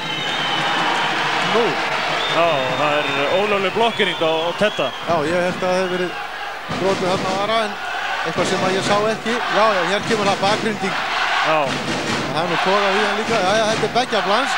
Það er ótrúlega barátt í þessu. Og erfitt kannski að dæma líka. Staðan 9-12 framörum í hag. Komast þeir í 13. Nei, ekki að svo stöndu allavega valsmenn komnir í hraðöflöf. Jón Kristjánsson og Tjóta Valsson aftur á Jón. Og þeir eru konið þrýr og neklan hreinlega hérna bara í gólfið. Já, hérna. Já, honum er skellt hér í gólfið og tvær mínútur á, á uh, njörð. njörð. Sjáum þetta aftur. Hér koma þeir, Já, já, hann heldur í peysuna. tógar í peysuna og, og síðan hendur honum. Það er ekki tækt að hvart yfir Þetta, þessu. þetta er svona svipað eins og Kári var ekki út af fyrir, fyrir hálfleik þannig að það er alveg svona samræm í þessu þannig að það sér að hann tógar í peysuna þannig að það er ekki spurning. Og staðan 9-12 tekst valsmönnum að notfæra sig þetta mingamunnin. Það var dyrmætt. Theodor fer inn á línu, Ari Alvarsson er á miðjunni, þá uh, Jón Kristjánsson vinstra við hann. Og Daniel Ragnarsson hægra megin, Valgarði hægra hóttinu og Davíð í vinstra. Jón. Og slæm sending og framarar komnir í hraðuplöf, Sigurpall átti. Og Guðmundur ver! Valsmenn snúa vörð í sók, Jón og reynir ver frá Davíð. Já, hérna. Já, þetta var vel gert hjá Reyni. Fyrst Guðmundur verð hér vel, Já, og svo reynir, reynir tilbaka. Þetta, svo Reyni hinn með. Já, frábær markvarsla. Guðmundur Hrafgjörnsson búinn að verja tíu skot í leiknum eins og Reynir Þór Reynisson. þetta er, þetta er einví á milli þeirra líka. Já, þeir eru, já, þeir hafa fyllt hvort öðrum. Það munar kannski einu skoti mest. Daði og það er dæmdur á hann Það er Rúningur. já. Já, kannski svolítið stráng. Ingi Rapp, Ingi Rapp og Ingi Rapp skorar! Já, 10-12. Nú held ég að hann ætti að hafa Ingi Rapp bara inn á. Ingi Rapp búinn að vera svolítið tíma út af og gerði þetta geysilega skemmtilega gert. gert. Hann hugsaði allan tíman og skorar hér. Og nú er 3-3 seinni hálfleikurinn. 3-3 í setni hálfleiki á 10-12 staðan. Framarar í sók, nú verða valsmenn að ná bara til verðinu og gott skotið í þverslána. Já, Magnús Argrímsson ekki náð sér á stryk í Nei, leiknum. hann hefur alls ekki náð sér á stryk. Hann hefur ekki skorað neitt mark. Nei, og valsmenn koma hér, Ingi Rapp, fellur í gólfið. Og uh, þá kemur Kári Guðmundsson, skokkar af velli. Eða hvað, nei, hann er áfram inn á færir boltan og í gegn og skorar! Já! Þetta var hreint ótrúlegt. Hefur nú örgulega fengið hann að ef hann hefði ekki skorað. Vingamunin í eitt mark. Já, þetta var uh, skinsamlega ákvörðun að láta Kára vera ennþá inn á. Þessi 22 ára galinn strákur stökk hann inn í gegn og skoraði. Valsmenn búin að skora tvö mörg í rauð, staðan 11-12, munurinn eitt Já, mark. nú er munur eitt mark, þannig að það er komin virkileg spenna í leikinn aftur. Guðmundur Pálsson. Daði á aftur á Guðmund með, æjæj, þarna voru framarráöfnin. Sendingin aðeins ómakvæm. Valsmenn geta jafna hér metin þegar rétt. Uh, tæpar 10 minnur í líðnar setni hálfleik. Ingi Rapp og boltinn á Kára. Jón sækir hér að vördunni. Theodor Valsson er mikið til baratinn á línunni og þá er það Ingi Rapp og hann er í gegn, Nei. Jón í gegn og hvað er í gang? Það fyrir allt bara í eina kökku bara. Þetta er ótrúlega. Þannig vildu nú framar að fá ruðning á Inga Rapp, hugsa ég, en Já, það getur verið. Þetta var svona kappi meiri en fórsjóin. Já, hann eiginlega hann hálf spólaði þarna. Gólfinu. Ingi Raffn Jónsson. Mjög leikreindur og eh, skoraði hér mark, mikilvægt mark fyrir valsmenn þegar hann breyti stöðinu úr 9-12 í 10-12 og síðan skoraði Kári Guðmundsson og breyti stöðinu í 11-12 Jón Kristjánsson fær að kvíla sig hér aðeins, hann er búinn að leika allan tíma Nú er Ari komið inn á fyrir Jón Kristjáns. Og Ingi Raffn í skiptustöðinni tekst valsmönnum á jafnumöndum rúma 10 myndir liðnir á setni hálfleik. Þá er það Daniel Ragnarsson, hann stekkur upp og Ingi Raffn, boltin út í hotn nei, þetta gengur illa. Framar að vilja fá leiktöð, boltin út í hotnið og Davíð í gegn, hann var að fara í gegn. Þann lína reynir vel og framar að koma rætt strax fram völlin og frumu skot og mark já, Gunnar Berg Viktorsson gnæfði þarna yfir valsvöldina og skoraði 11-13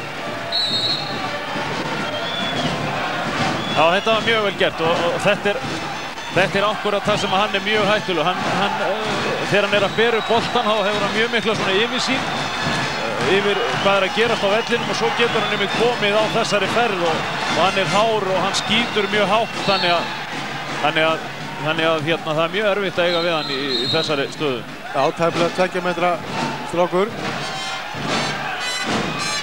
Hér er það Valgar sem að skellur í gólfið. Þarna má sjá uh, Jóhansson í hópi Vals áhörvenda hann létt mörg ár með Val en hér koma Valsmenn eitthvað í gangi núna en misefni línusending reynir á Tito og sjáu þið hvað framar er fljótið fram og þeir skora. Já, 11-14 Björður Andarsson með, með annar marksið Já, búinn að gera tvö mörg úr hraðaflöpum. á framar að fagna. Þetta er fljótt að breytast. Á var staðan 11-12, nú er staðan 11-14 Þetta, þetta breytist fljótt. Misefni línusendingan, auka kast, já ég held að það sé alveg hár rétt Þeir eru áhyggjufullir hérna á varamannabekk Valsmána Já, já, ég er ekki eins og því. Þetta er aftur komið í þrjú, þannig að Ingrab Ári á Ari. Það vantar óknun í þetta hjá Valsmönnum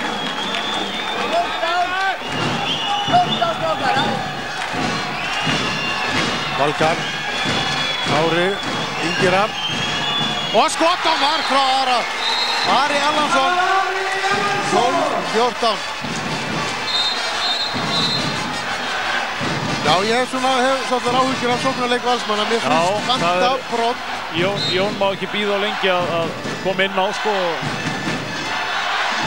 Nei, Þetta, þetta veltur svolítið á honum. Þeir Já. fara svolítið mikið út í hann, þannig að það er svona tvístra vörninni svolítið. En nú hef ég, ég hef nú einhvern veginn trú á því að, að framaröndin fari nú að spila svona meira svona skipulaðan svolítið leik og, og svona meira skipulað heldur en voru í fyrri hálfleik og þannig að, að ég hef trú á því með þessa fórustu að þá, þá eru þau mjög yfirraðan leir.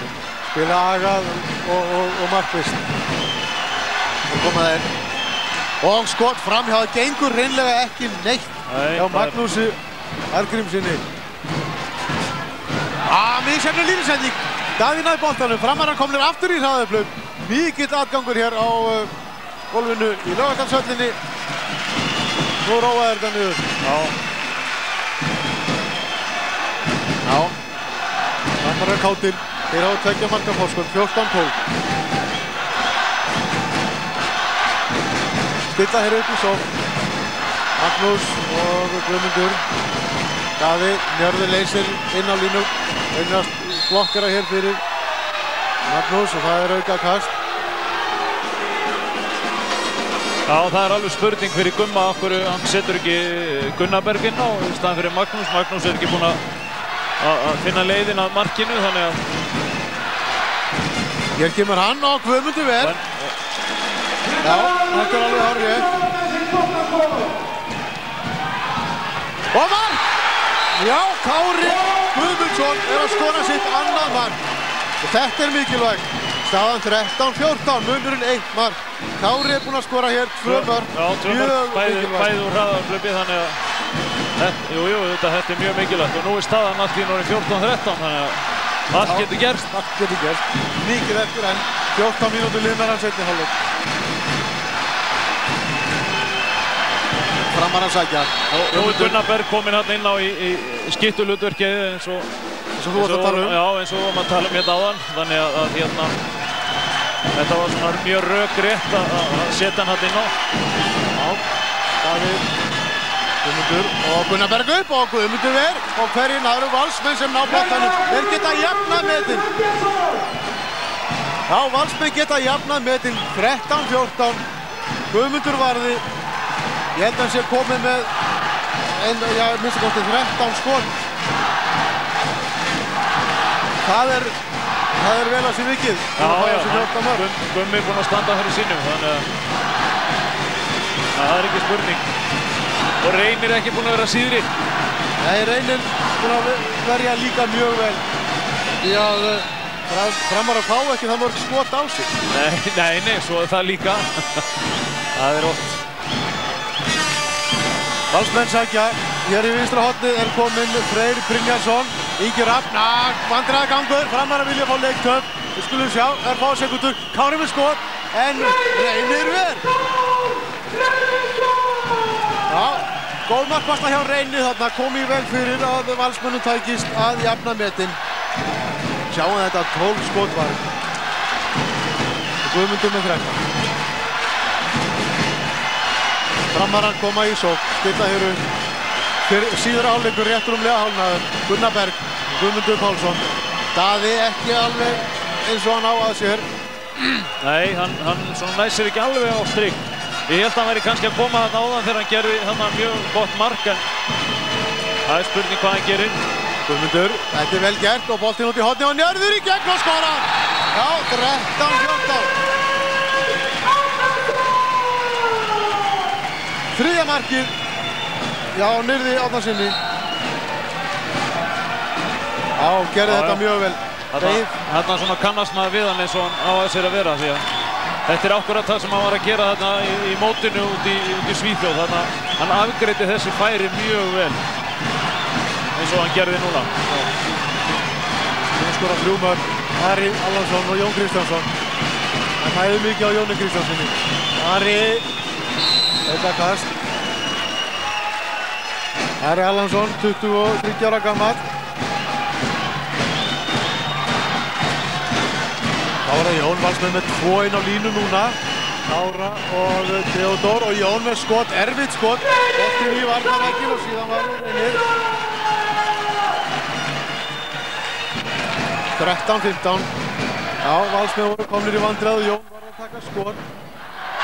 Það voru spurningin hvað gerist. Ná Já, já, framarar að já. komast þrem mörgum aftur yfir. Já, nú er hugsanlega að hafa tækifæri að komast þrjú yfir. Nú, það, þetta, þetta er svo fljótt að breytast. Valsmenn getur nú að hraða upp hluti og minga munum í 14-15 og hér er línusetting og Tvítótt skorar. 13-15. Og sjáu þið nýtinguna. 6 skot, 6 mörg. Þannig að glemdu þið sér Já, aðeins. þarna, og þetta er einmitt svona dæmi upp á, uh, með Gunnar Berg, hann hefur mjög mikið svona auga fyrir línunni og þannig að, að, að, að svolítið hissa á því okkur hann kom ekki fyrir inn á. Já. En, en Gummi lítur nú að hafa sínar ástæði fyrir því. Það, er, já, sennilega er það alveg harrétt hjá þér Ari að reyna að fara í gegn, auka kast. Já. Spurning hvort að, eh, já, hann sé alveg búinn að jafna sig á þeim meðslum sem hann hefur átt í að stríða, það er hugsanlegt. Hann hefur verið mjög óhörfið með það.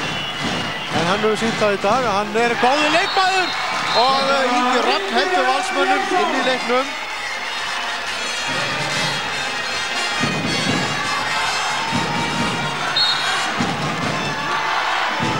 Fjórtán, sextán. Ingi Rapp og gott mark. Geysilega áræðin Já, já, strákur. hann, hann mjög, hann má aldrei líta á honum. Já!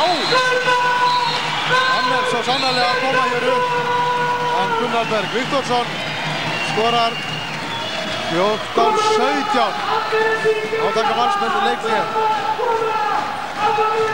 Já, ég vil á viska þetta marki ég var að skrá hérna hjá mér. Marki sem að engin rafn skoraði en Já, hann er, hann er geysilega skemmtilegur hann Gunnar.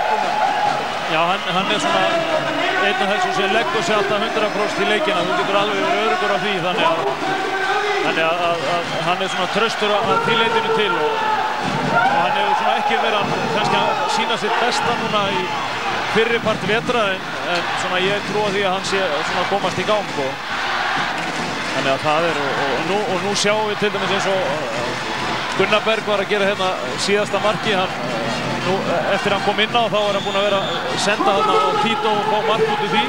Hann, hann skaut núna langskota því að það kom engin í hann. Þannig að þarna er núna hann búinn að að skapa þarna nýja hættu. Nú þurfa valsmennir að fara út í hann. Og uh, þá er spurning hvort að vörnir riðlast ekki meira. En, en, en þetta er ákveða það sem Gunnar getur gert mjög vel að, að ef það er ekki komið í hann þá, þá afgreðar hann boltan mjög vel. Hann er það stór og svo þegar þið komið í hann þá dettur títum á bakvið. já, þannig að Já, Magnús Ergvinsson náði sér ekki á stryk í sókninni en Gunnar Berg virðist vera að gera það. Valsmenn eru þremur mörgum undir og eru hér í sók. Daniel Ragnarsson með lífsendingin á Theodor og hún misfært og reynir hans saman kvötti hér.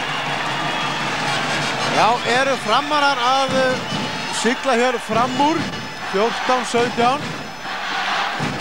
ég, ég hugsa það að ef að, að uh, framararnir skora núna og komast fjögur yfir að þá uh, er þetta nánast í höfn, þá er, verður róðurinn mjög þungur því að það eru bara tíu myndur eftir og, og við erum búin að horfa upp á leikin þannig að, þetta eru búin að vera uh, hérna fá mörg skoruð þannig að vera að koma í fjara marka fórustu það, það er mjög erfitt. Og sjá Tito, þetta er ótrúlegt og það er spurning hvort að framarar eru ekki að tryggja sér byggameistarantitilinn í fyrsta skipti. Oleg Tito. Og Tito búinn að gera þarna hvað, sjö mörg þannig að, Sjö mörg í sjö skotum. já, sjö mörg Það væri nú ekki dónalegt að hafa hann í landsliðinu. En það eru, við eigum líka sterkar línumenn. En uh, hér koma valsmenn, tíminn, hann mingar stöðugt og boltinn í netið. Já, Theodor Valsson heldur valsmönnum inni, 15-18 er staðan. Þetta er nú svo sem ekkert búið en, en, uh, en það er sama, þetta er svona Svona miðað við gang mjög, mjög góð, góð fórustæði á. þá láta framarar þess að þryggja marka fór. Nú eru valsmenn búin að breyta yfir í, í svona 31 vörn og, og, og frista þess kannski að, að, að taka á framar og, og pressa á til þess að skjóta kannski að lengra færi. Og hér kemur þrömmur skot, en Guðmundur vel. Guðmundur kom með 14 skot, leiktími stöðu, það er 20 mínútur og 47 sekundur. Liðnar af fyrir. Rétt rúma 9 mínútur eftir, Guðmundur Haftinsson, verður vel. Það getur nú skipt sköpum ef hann myndi bara, já, taka hvert skotið á fætur öðru. Já, það getur gert það. Það setur náttúrulega meiri pressu á framarinn að halda fórustunni að mingar mér í tvö. Já, valsmenn, því svo. Lítið komið út úr hotnunum hjá þeim. Og Daniel, og þetta er aukakast. Já, alveg hárið rétt. Brotið hann á Theodor Valsinni. Sjáum það hér aftur, það er haldið utan um hann. Arnar Sigurvinsson gerði það. Valsmenn í sól. Ná þeir að minka munin í tvömmur. Það myndi skipta miklu máli fyrir þá. Jón Kristjánsson og Ingi Rapp. Jón, boltum út í hotnið á Frey. Jón, auka kast. Það myndu valsmenn að fá einhvern framar út af til þess að það væri þægilegra. framvörðin er reynd ótrúlega sterk. Varmsmenn eru aðeins búin að skora 15 mörg. Reyndar hafa framvarar ekki skora mikið meira. Átján mörg. Hér kemur skott og Jón er á völdin. Boltinn í gólfið og yfir. Þeir eru líka hrætti við reynir. Reynir er búin að verja vel. Já, já, hann er búinn að verja mjög vel og Já, en þetta hlutinir eru fljótir að breytast. Rétt hæfar 8 mínútur eftir. Staðan 15, 18. Þess fremur um að skora úr þessum, svo boltum út í hodnið. Njörður hætti við að fara en línan er hann auð. Þarna var eh, Guðmundur Pálsson inn á línu. Gefur merki hér um leikkerfi nummer fjögur. Sjáum hvernig það er. Valsmenn koma mun fram að núna eins og Þorbjörn gat um áðan. Gunnar Berg með skot, erfitt skot en brotið á honum. já, brotið á honum. Klukkan tifar. Fíldóf gengur hann með boltan aftur fyrir endamörk og er að vinna tíma. Ekki að marka munum. Nú, nú, já, nú er dómarinn að rétt upp hendina, merkjum það að nú fara að koma leiktöf. Og sjá Gunnar Berg er það, hvað? Skref Það var dæma skrif á þeir. hann. Já, þeir dæma á hann skref. Valsmenn í hraða upp laug. Ingi Rapp með skot, vörnin ver. Og Valsmenn ná boltanum og geta núna stilt upp í sókn. Já, það er, Já. Dæmt hann að skref á Gunnar Berg áðan. já, það komið eitthvað fyrir hann líka, það þarf að kík, kíkja á hann. Hann er fengið, eitthvað högg eða, eða linsan eða eitthvað aflagast. Já, sjáum það. Lin- Linsan hefur aflagast. Já, það er að skellti við upp í aftur bara. Það er spurning með klístirinn og öllu saman á. Já, já. Og það fari ekki eitthvað með líka. Já, það er ekki gott að hann fyrir að fara út af. Nei, þetta getur sagt tryggir einingin. Vörnin verður veikari. Já, það, það séu það, þeir allir ekki að, hérna, já. Það verður bara að loka auganu og spila Já, einu. já, þeir spila bara 5 pluss 1 vörn eins og þú sér á, á Jón, þannig að það er nú svo sem ekkert, svo sem ekkert verra í sjálfum sér í stöðunni. Við sjáum hverju þetta breytir. Staðan 15 átján skamt eftir 6,5 minúti eftir Ingir að breyna að fara í gegn. Óleg Títom alveg fyrna sterkur í vörninni.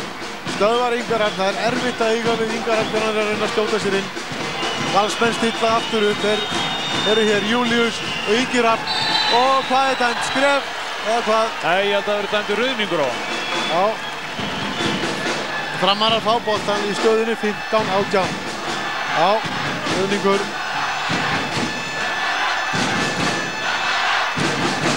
Nú er Magnús Argrímsson komin aftur inn á. Kannski að honum takist betur til núna. Já, Framarar, það getur verið. Já, það var gott að kvíldinni. framarar gefa sér ábygglega sæmilegan tíma og sjáu þið Títof. Æja, það kom það. Fyrsta skoti sem að fer fara góðum hjá honum. Þetta er ekki algengt sjón. Nei, það var það er- þröngum færi og Jón Kristjánsson upp og hann Nei. tók hann bara í nefið þarna við. Títof. Þetta, þetta var nú ekki rétt, hann var búinn að sleppa boltanum áður en hann var lendur, þannig að, að mér fannst... Nei, nei, Sjáum nei. þetta, ég er aftur. Já, já. Er talað hann hoppar, hann hann. hoppar upp, hann sleppir honum, sérðu, hann sleppir honum áður. Þannig að hann, það er ekki, hann er ekki lendur. Það er ekki skrifað. Nei, nei, þetta var rá. Ekkert annað. Já, höfnumst á þessu 15 átján og hér kemur það 15 19 Oleg Títof er að skora hér sitt áttunda mark Já, hérna Hann klikkar ekki tvisvar í röð Nei, það er, Framarar á áhörunda pollunum farnir að syngja frábærlega gert hjá Guðmundur Pálssoni. Setti boltan inn á línu og hvað er hér? Hérna lenda þeir saman já, Tito fyrir tvörmingur. Títof og Jón. Við fáum nú örglega að sjá þetta aftur. Þetta var óviljavert. Það er spurning ef hann tekur í hendina á honum eða eitthvað svo list, þannig að það er, nei, við sáum ekki nóg aðdraðandan á undan. Nei. En tvær mínútur á Títof og hann var nú ekkert að manda í móin Nei, mikið. hann gerir það nú yfirleitt aldrei. Nei. Þannig að hann bara tekur þessu eins og þetta er og hvað að sem það er rétt eða. Já. Þannig að hann, hann er mjög kurtis hvað það var það. Staðan 15-19 og Guðmundur Guðmundsson kominn í hlutverk sjúkraþjálfara sýnist mér hérna. Eða hvað?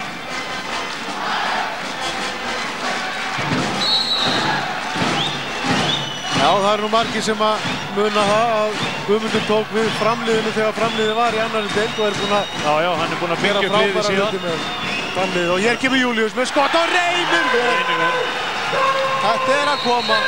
Já, já, það er búið að vera mjög svona jafn stígandi í þessari uppbyggingu hjá Guðmundi og, og uh, það vita það nú allir svona sem að fylgjast með, með boltanum að hann, hann er mjög segur þjálfari og mjög samvisku sami þjálfari. Og við þjálfarnir höfum oft verið að segja það sko, hann sé svo samvisku samansti af okkur öllum. Já. Þannig að hérna, það kemur Það mann bara að ekkert- skila sér. Já, já, það kemur mann ekkert óvart að hann, uh, að hann skuli vera komið gott lið. Nei, Jón Kristjánsson að svara fyrir valsmenn með sínu fjórðamarki. 16-19, munur í þrjú mörg og það eru fjóra myndur eftir. Þetta er hægt en það þarf já. þetta að ganga á.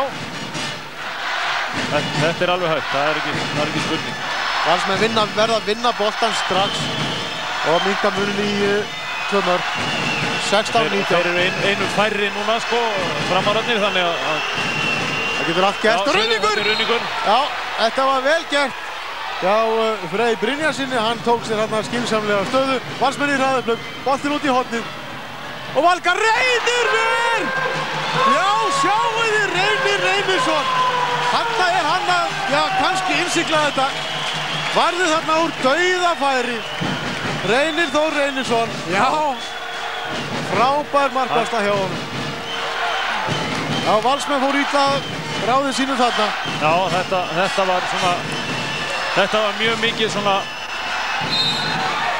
Þetta var mjög, mjög afdrifaríkt þarna akkurat sko. Ef, að- ef að þeir eru mingar nýri, í tvö mörg þá, þá þetta svona lítið öðruvís út.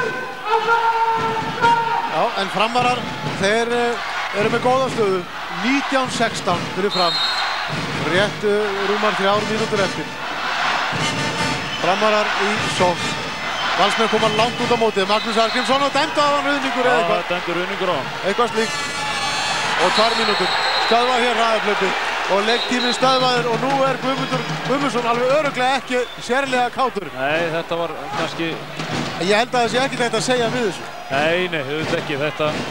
Hann fer aftan í aftan í Valgar sjáum þetta þeir aftur Já, Valgar fellur upp þeir aftur aðeins í hóttin á hann líka Það er bara, ég, ég hugsa að þetta dugir bara ekki. Er... Við skulum sjá Július. Og er vítakast. Lendur stoppa tíman Já, varnamæðurinn hefur þá staðið fyrir innan, innan tegin. Já hérna Július Gunnarsson. Sjáu þetta? Já já hann er lendur það er vítakast staðan 16-19 2 og 40 eftir. Jón Kristjánsson að vítalínu reynir til vartar hvað gerir reynir? Já hann skorar 17-19 Ætla vansmenn að jafna metin og knýja fram framlengingu? Þetta er, þetta er fyrsta víti sem að Valur fær og, og fram er búið að fá eitt víti þannig að þetta er búið að vera mjög jægt og lítið um víti. Óleg Títóf skref eða hvað, nei, boltinn í stöngina. Æjæj, hann var óöfnið þarna.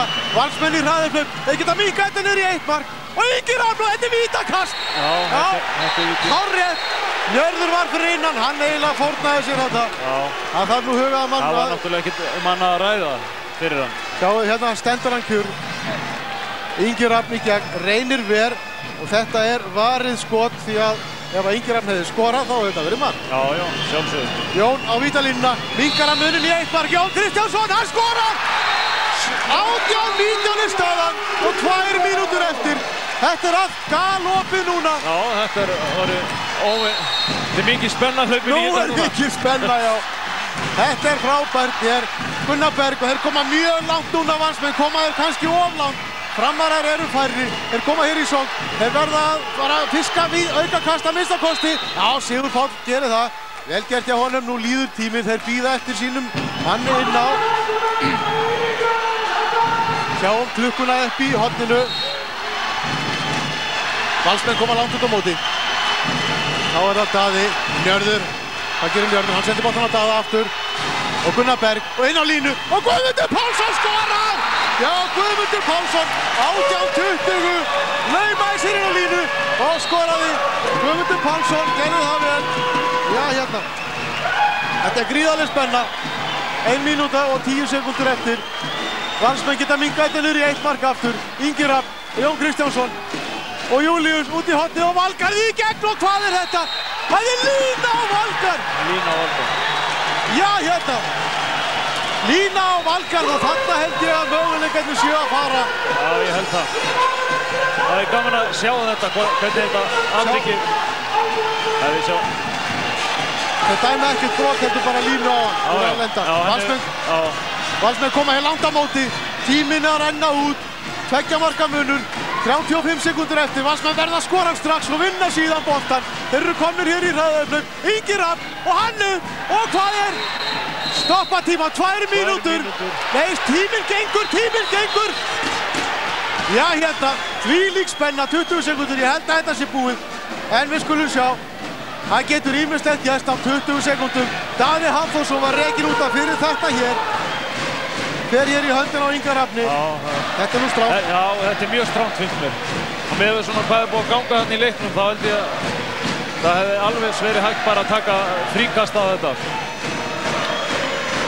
Já, og þarna var nú spurning hvort að það sé verið að bæta við einhverjum fjórum sekundum eða verið að bæta við Já, tíman. bæta við fjórum sekundum, já. Það voru 42 sekundur eftir klukkan fyrir sem stað eftir fjóra sekundur. Staðan Það er frí- 18-20, Og þetta var fríkast. ekkert vítakast, alveg ekki hár rétt. vítakast, Já. Þess vegna, hefði maður alveg haldið þetta hefði verið bara fríkast, enga tvær því þetta var svona, svona miðað við bara önnu brot í leiknum. Valsmenn verða að skjóta strax, Ingi Rapp og Jón, hann fyrir, nei hann hætti við. Og Július með gólskot og það er mark! 20 sekundur eftir, 19-20. Július, býður nú við, tími gengur og Títoff og hann er fara hér, sendir boltan á Sigur Pál Átna Aðarsteinsson og teimin er stoppaður. Það var búið að byggja um leik. Já, þá, uh, Ég- þá hlýtur að þurfa að bæta við tíman. Þetta er reynd ótrúlega spenna. Július Gunnarsson var að skora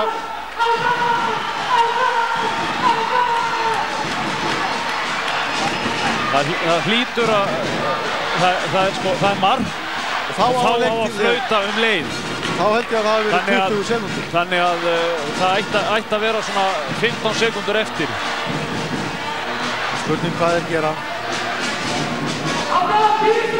Um, um leið og, um leið og eins, eins og við getum séð sko hvenar markið akkurat kom þá á að flauta á tímaverðarborðinu sem að er rétt og þá á að stoppa tíman. Þannig að það er svona, það er svona 15 sekundur þannig að Já, þetta er, þetta er spennandi. Þetta er að valsminn nái að jafna. Þeir lendur nú í harðri rimmu við Káa hérna um árið. Í hvað, tíu framlýttuleik? hvað, það er spurning hvað dómarinn segir, bæta við eða stendur tíminn. Þetta er mikil spurning. Er hljóta, hljóta verða að bæta við?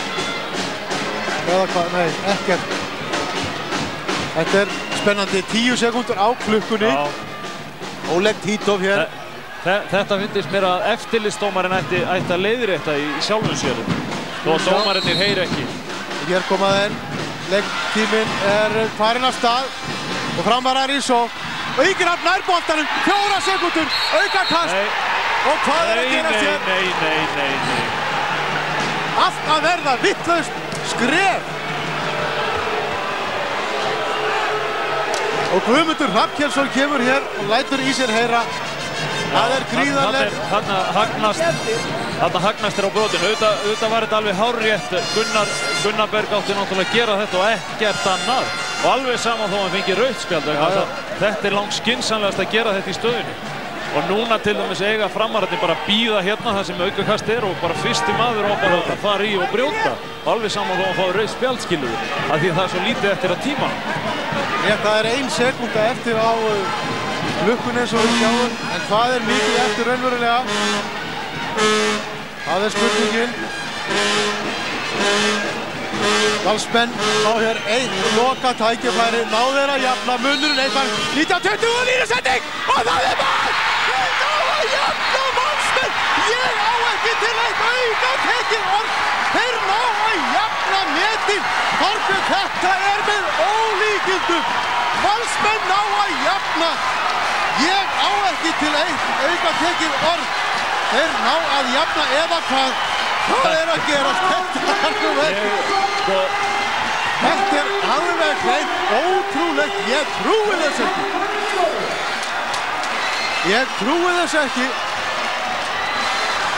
Einhver- Einhvern veginn, hefði ég haldið það að, að miða við það að það voru tvær sekundur eftir eða, eða einu eða hvað sem það var að þá á þetta ekki vera hægt held ég, eða það finnst mér ekki. Þetta er náttúrulega spurningin um hvað hann er fljótur að íta á nappin á klukkunni og, og allt eftir því þannig að en svona, svona fljótt á liti að þá finnst mér einhvern veginn Þetta ætti ekki að vera hægt. Það var veit nema það- það hafi verið meira þegar hafi bætt við. við erum búin að sjá það, þetta er hægt. Þannig að, og við verum að kíkja því, þetta er hægt. Það er framlenging, það er, það er ekki spurning. 20-20 er á klukkunni. Já, já, er, þetta er staðurinn. Ég, ég trúði þessu valla, en Magnús Orri Skram er að ná í Einar Þorvarðarsson. Gamla refinn á gólfið og ætlar að spjalla við hann. Ég sendi boltan uh, niður á gólf þar sem Magnús Orri Skram er með uh, gamla refinn Einar Þorvarðarsson. Æ, Einar, þetta var dramatík hérna á loka sekundunum. Uh, telur þetta hafi verið rétt dæmt þarna undir lokin? Þetta er spurning, eh, þegar fríkastið tekið á leikmann að vera fyrir utan búndalínum og það er spurning hvort að það hefði verið. Ég veit ekkert um það, ég tók ekkert eftir þetta getið séð sjónhólpun örgulega en þetta er spurning. Það er spurning hvort að maðurinn sem fekk boltan úr fríkastunum hafi verið innan eða utan. Hendi boltanum á stað þá var hann að vera fyrir utan búndalínum. Það er spurning. Eh, sló valshjarta örar hérna undir restina? Já, ég meina þetta er frábært að þess getur komið inn í þetta aftur. Ég var eiginlega búinn að afskrifa það bara eftir fyrirháleikin og það er eins og maður segir með þetta valslið, þetta gefast aldrei upp. Það má segja líka með framarna, þeir eru svona kannski að brenna sig aðeins á reynsluleysinu. Þeir eru svona gerðu dálítið afdreifarík mistök núna síðustu tveimur minútonum. En ég meina þetta gefur valsmennu mikið búst núna fyrir framlíkinguna.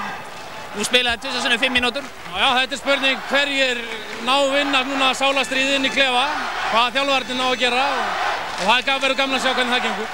Það gaf verið það. Þarna sáum við þetta aftur og þetta er reynd með ólíkindum Þorbjörn. Kári Guðmundsson kastar boltana þarna, já nánast í Já. fótinn á honum, hann nær að grípa boltan á gólfinu Það, og það, er skorar spurning, það er spurning hvort við getum séð eitthvað á loftmynd eða eitthvað svo lit, þannig við sjáum þetta nákvæmlega en, en svona fljótt á liti þarna er, er sýnist okkur það að hann sé, hann sé hérna uh, innan, fyrir innan puntalínuna þannig að, að maður veit ekki, maður veit svona ekki hvernig Já, þetta er þetta er alveg, hér sjáum við valsmenn fagna. Freyr Brynjarsson, hann er að skora eitt mark í þessum Já, leik já, hann er- og það er já. þetta mark.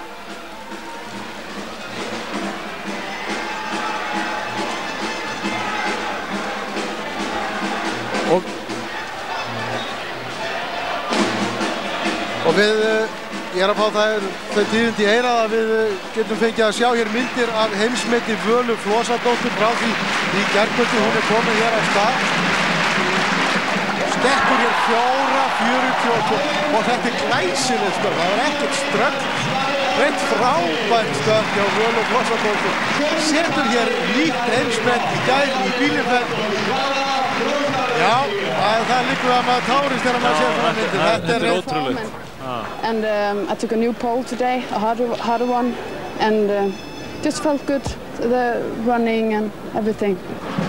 Já, hún sagðist hafa fengið sér nýja stöng til að stökkva á Vala og þetta gekk allt vel, gekk upp reynd frábær íþróttamaður Vala Flósadóttir hún að sína það og sanna að uh, hún er frjálsýþróttakona í fremstu röð og það er, er svona farin að gæla við það hvort hún nái 5 metrunum á árunum, þetta eru fílíkar framfærir Já, já ég er nú ekki búinn að jafna með ennþá á Nei, þessu jöfnunamarki þetta er, þetta er ótrúlegt sko. Já, þetta, þetta er alveg spurning hvar er hann þegar er tekið. En þetta er náttúrulega bara þannig að, að dómarinn á náttúrulega að taka eftir þessu og, og auðvitað geta þeir gert uh, hérna mistök eins og aðrir og, það er verið kannski að fókusera. Við sáum hann fyrst þegar, Gunnar braut á, á valsmanninum. Það fannst öllum það ósangjart en það var mjög raukrétt að Gunnar að gera það. Já, já. Og þetta, þetta er bara svona, úrslita leikir eru bara svona. Þú, þú, þú spáðir þessu Ég spáði þetta þessu. Já. Þú myndist nú ekkert á það þegar framara voru fjórum ykkur lífi Nei, nei, ég eða, satt bara rólegur yfir því. spá er spá. Já, já. Það er nú ekki oft sem að maður spáir og hefur rétt fyrir sér. Nei, það er alveg... Þú spáðir heldur ekki um framhaldið. Nei, ég sagði það að við skildum bara sjá til í fram, framhaldinu. Og það eru hvað, tvisvar sinni fimm mínútur? Já, 25 mínútur og það er akkurat þegar að maður er komin í svona framlíkingu, þetta, þetta tók uh, eins og þegar maður var að þjálfa, þetta tók smá tíma að svona læra inn á þessar framlíkingar eins og þegar við vorum í úrslitakeppnin og annað, að það er, það er ofsalega mikilvægt að, að, að gera réttu hlutin í framlíkingunum því að 5 mínútur er ekki neitt. Nei, það eru svo fljóta. Já, þannig að ef, ef þú lendir í því að vera reikin út af, þú, þú skýtur boltanum, markmaðurum vera og fara hraðaflub á því. Þetta, það er allt svona rosalega dýrkjönd. Hlutvægslegt vægi er svo mikið. Já, það er nefnilega, það, það er svo óbústlegt vægi að, að þess vegna er svo mikilvægt að, gera réttu hlutina. Og þetta er okkur að það sem að, að er búið að fara svolítið í gegnum eins og þegar ég var að þjálfa þarna í vala, fara svolítið í gegnum hvað á að gera. Hvernig ná maður að haga sig. Einmitt, en nú kannski, eh, þú mannst nú eftir uh, frægun leik gegn Káa í byggarústittum, það sem var framlengt og þarna eru nokkri strákar sem eru búinir að ganga í gegnum þessa reynslu. Já, já. Meðal akkurat. annars Július og Jón og Ingi Rapp og jafnvel Valgar í mann og ekki búinn það var en hér er mark hjá valsmönnum. Valsmenn skora fyrsta marki Ingi Rapp Jónsson. Komið með fimm mörg já hann er svo sannlega búinn að skila sínu þessum strákum hann lengi út af í síðari hálfleik en svo komið inn sterkur og verið að skora fyrir valsmenn. Að skora fimm mörg 21-20 framarar í svo og þeir eru færri. tveimur færri Þeir eru tveimur færri að því að Gunnar, Gunnar var reikin út af þarna alveg í röstinu. Það er spurning hvort að þetta verður til þess að já, valsmenn nái fóristu sem þeir láti ekki á hendi. Það kemur í ljós. Framarar geta nú reyndar tekið hér langa sók, hitt frá köstin, tekið sig í eftir auka köstin. Jörður, þeir verða þó að fara að fiska auka köstin. Sigurpáll Átni, hann fer á þá. Og það er dæmt á hann. Þetta var skinsamlega gert í vörðinni hjá Valgar Tórótsen. Beið eftir honum og fekk dæmdan ruðning. Fjóra mínútur eftir að fyrir hálfleik. Valsmenn sól. Jón Kristjánsson. Auka kann, nei áfram með leikin og reynir fær hér boltan í andlitið. Fær hér boltan í andlitið. Og, og, tala, og talandi um framlíkingu þá, þá er það að, að hérna, það er til dæmis mjög mikilvægt eins og í framlíkingunni að, að, að, kjósa boltan, að kjósa byrja með boltan því það, það er oft mikilvægt að skora fyrsta markið og, og, og svona, það, það er ímislegt svona sem maður þarf að hafa í huga þegar maður er að fara í framlíkinguna. Já, en við skulum sjá reynir Já, hann fekk, boltan í andlitið. í andlitið og það var nú, ég hefði hugsað nú að Ingrid hefði nú frekar vilja skora heldur en Já, að ég hugsa skjóta í það nú reyni. heldur en að skjóta framann í hann. Það er- Sjáum þetta aftur. Já, já, hann, Já, mjög, mjög lélitt skot hjá hann. þetta var vond skot. Reynir búinn að standa sig frábærlega. Og enn eru framararnir, það er spurning hvað er uh, langt í fyrsta leikmann. Já, það er nú svolítið einkennlegt að sjá það ekki hér á töflunum í Laugarsvöllinni en Jón Kristjánsson upp á Reynir mér! Já. Já, Reynir varði og ég held að Reynir sé komið með átján skot, ég var búinn að punta það átján skot hjá Reynir þó Reynir sinni og uh, ég er að auka kast á valsmenn tíminn stöðvaður og býður nú við, hvað er í gangi hér? Einhver reykjastefna við tímavarðaborðið, var þetta ólega skipting eða hvað? Eða var einhver á fljótur að koma inn á? Þorbjörn, þetta er spurning. Já, ég, uh, það voru út af Gunnar og, uh, og enn, það var einhver enn sem var út af. Já, Hver, hver var bara- næstur út af og undan? Tók nú bara ekki eftir því í darra dansinu. Jú, það var Magnús. Magnús, já, fyrir að brjóta fyrir að valgar. það er spurning hvort þeir hafa sett, sett hérna inn á og Gunnar fljótt. Berg. Já. Gunnar Berg var setni maður út af, það er alveg á hreinu. Og Magnús fyrri. Það var alveg í restina bara. Skulum sjá. Hvað gera þeir? Hvaða ákvörðum taka þeir hérna við tímavarðaborðið? Skulum sjá, við verðum að telja framarana. Þeir eru fimm inn Já, þeir eru orðin fimm, þetta lítur að verið rétt.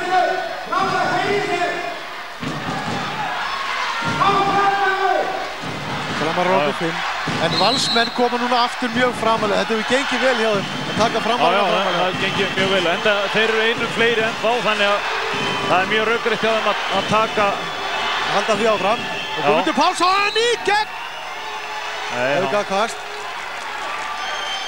Munaði nú lítið hann að fiska hérna, já, hennilega víta kast. Framar að koma. Daði fast tekið á móti honum á yngarafni. Njörður og hann er að sleppa í gegn og þetta er víta kast, eða ekki? Jæja, sýttu Nei, sko það er- valsmenn verjast inn í teig, en kannski var það spurning. byrjað áður. Brot, brotið hefur byrjað fyrir utan, sko, þannig að Já, það er oft tek, tekið... 2 mínútur og 40 sekundur eftir að fyrir hálfleiknum í framlengingunni. 21-20, valsmönnum í hag. Gunnar Berg Viktorsson. Og brotið á honum. Já, já. Kári Guðmundsson gerir það. Kári búinn að leika vel. Kemur hann á mótunum aftur. Og Gunnar Berg inn á Títov. Títov tekinn föstum tökum. Já. Og Guðmundur hlær nú bara að þessu vildum fá eitthvað meira en þetta. Ég held nú að það er ekki hægt að gera meira en þetta. Þetta var auka kast og nú leysa þeir inn á línu og Títov í gegn og Guðmundur vinn og þetta er vítakast. Og hvað verður Já, vingaraf? Já, það er, ég held, ég held þetta sé alveg hárrétt. Ég, ég held að hann hafi hérna verið utan í honum allan tíman. Þannig að tekur hann fram hjá, hann ítir honum. Já, já, þetta er ekki spurning. Þetta, þetta er vítið. En Guðmundur varði þarna held ég að sé, ja, til 15. skot. Hvað gerir Guðmundur Hafnjörnsson? Nú veltur mikið á þessum reyndaleikmanni. Já, það er, eins og þú sagðir, hvert mark í framlengingun er svo já, dýrmætt. það er, það er mjög mikilvægt. Það er mjög mikilvægt. Sigur Páll Átni Aðarsteinsson. Og hann skorar! 21-21. Sigur Páll Árni Aðarsteinsson. Sýnir mikið öryggi og skorar að Já, já. held sitt annar mark úr vítakasti. Já, annar marki og vítakasti. Sjóndals 5 21-21, 1 minút og 45 sekundur eftir að þriða hálfingum. Valsmenn koma Ingerab og Július Gunnarsson. Nú rýður á að halda haus. Jú, hér kemur Július, Jón á Július og þá er það Ingerab og hann er tekinn hér á. Gaf á sendurinn og lína auka kast. Valsmenn heppin hérna. Framarar sterkir sem fyrr og hér sjáum við Óskar Óskarsson liðstjóra. Sáum honum bregða hann aðeins fyrr í mynd. Það Július, framar að passa vel, hotnin og skott og reynir vel. Reynir Þór Reynisson vel frá Jóni Kristjánsinni og nú er komin önnur staða, staðan 21-21 og nú geta framarar komist yfir. Komist einu yfir, já. Og nú gerum maður skynsamlegri mínúta- sókn. Já, bara ein mynd eftir. Spila út tíman, enda með skoti. Betra að fara í hálfleikin með 21-21 heldur enni og þetta er vítakast. Já. Já, já, þetta er vítakast. Óleg Títov. Þetta er hár rétt, þeir eru fyrir innan vítategn. Standa fyrir innan, ég held að séu báðir með segja fyrir innan. Jæja, það var nú... Já, já, Valgar þarna. Annan fótinn að missa Guðmundur Hafkjálsson til varna. Hvað gerir Guðmundur núna? Sigurpáll, Afni. Hann er, já, hann varði Guðmundur. Og nú er það valsmenn sem geta komist aftur yfir. Guðmundur Hafkjálsson varði þennan vítakast. Valsmenn komir í sók og næstu því búin að missa boltan. 25 sekundur eftir. Nei, 30 sekundur eftir segi ég. Valsmenn geta hér komist yfir rétt áðurna flauta eftir hálfleiks í uh, framlengingunni. Jón og Ingi Rapp og Július og og hann skorar! 22-22 Július Gunnarsson. Og það eru 10 sekundur eftir. Staðan 22-21 valsmönnum í hag. 5 sekundur framar að verða enda þetta með skoti og auka kast leiktími rennur út. Og Daði Hafþórsson liggur hér á eftir Já. liggur hér eftir.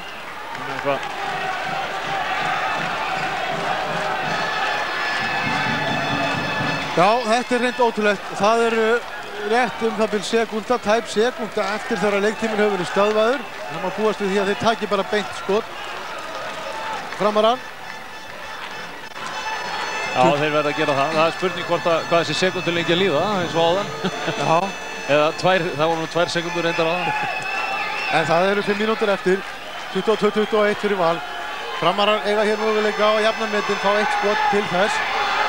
Hver tekur skotið er það Daði, Títók er þarna líka. Já, það er Daði, Daði með boltan. Skotið í vörduna.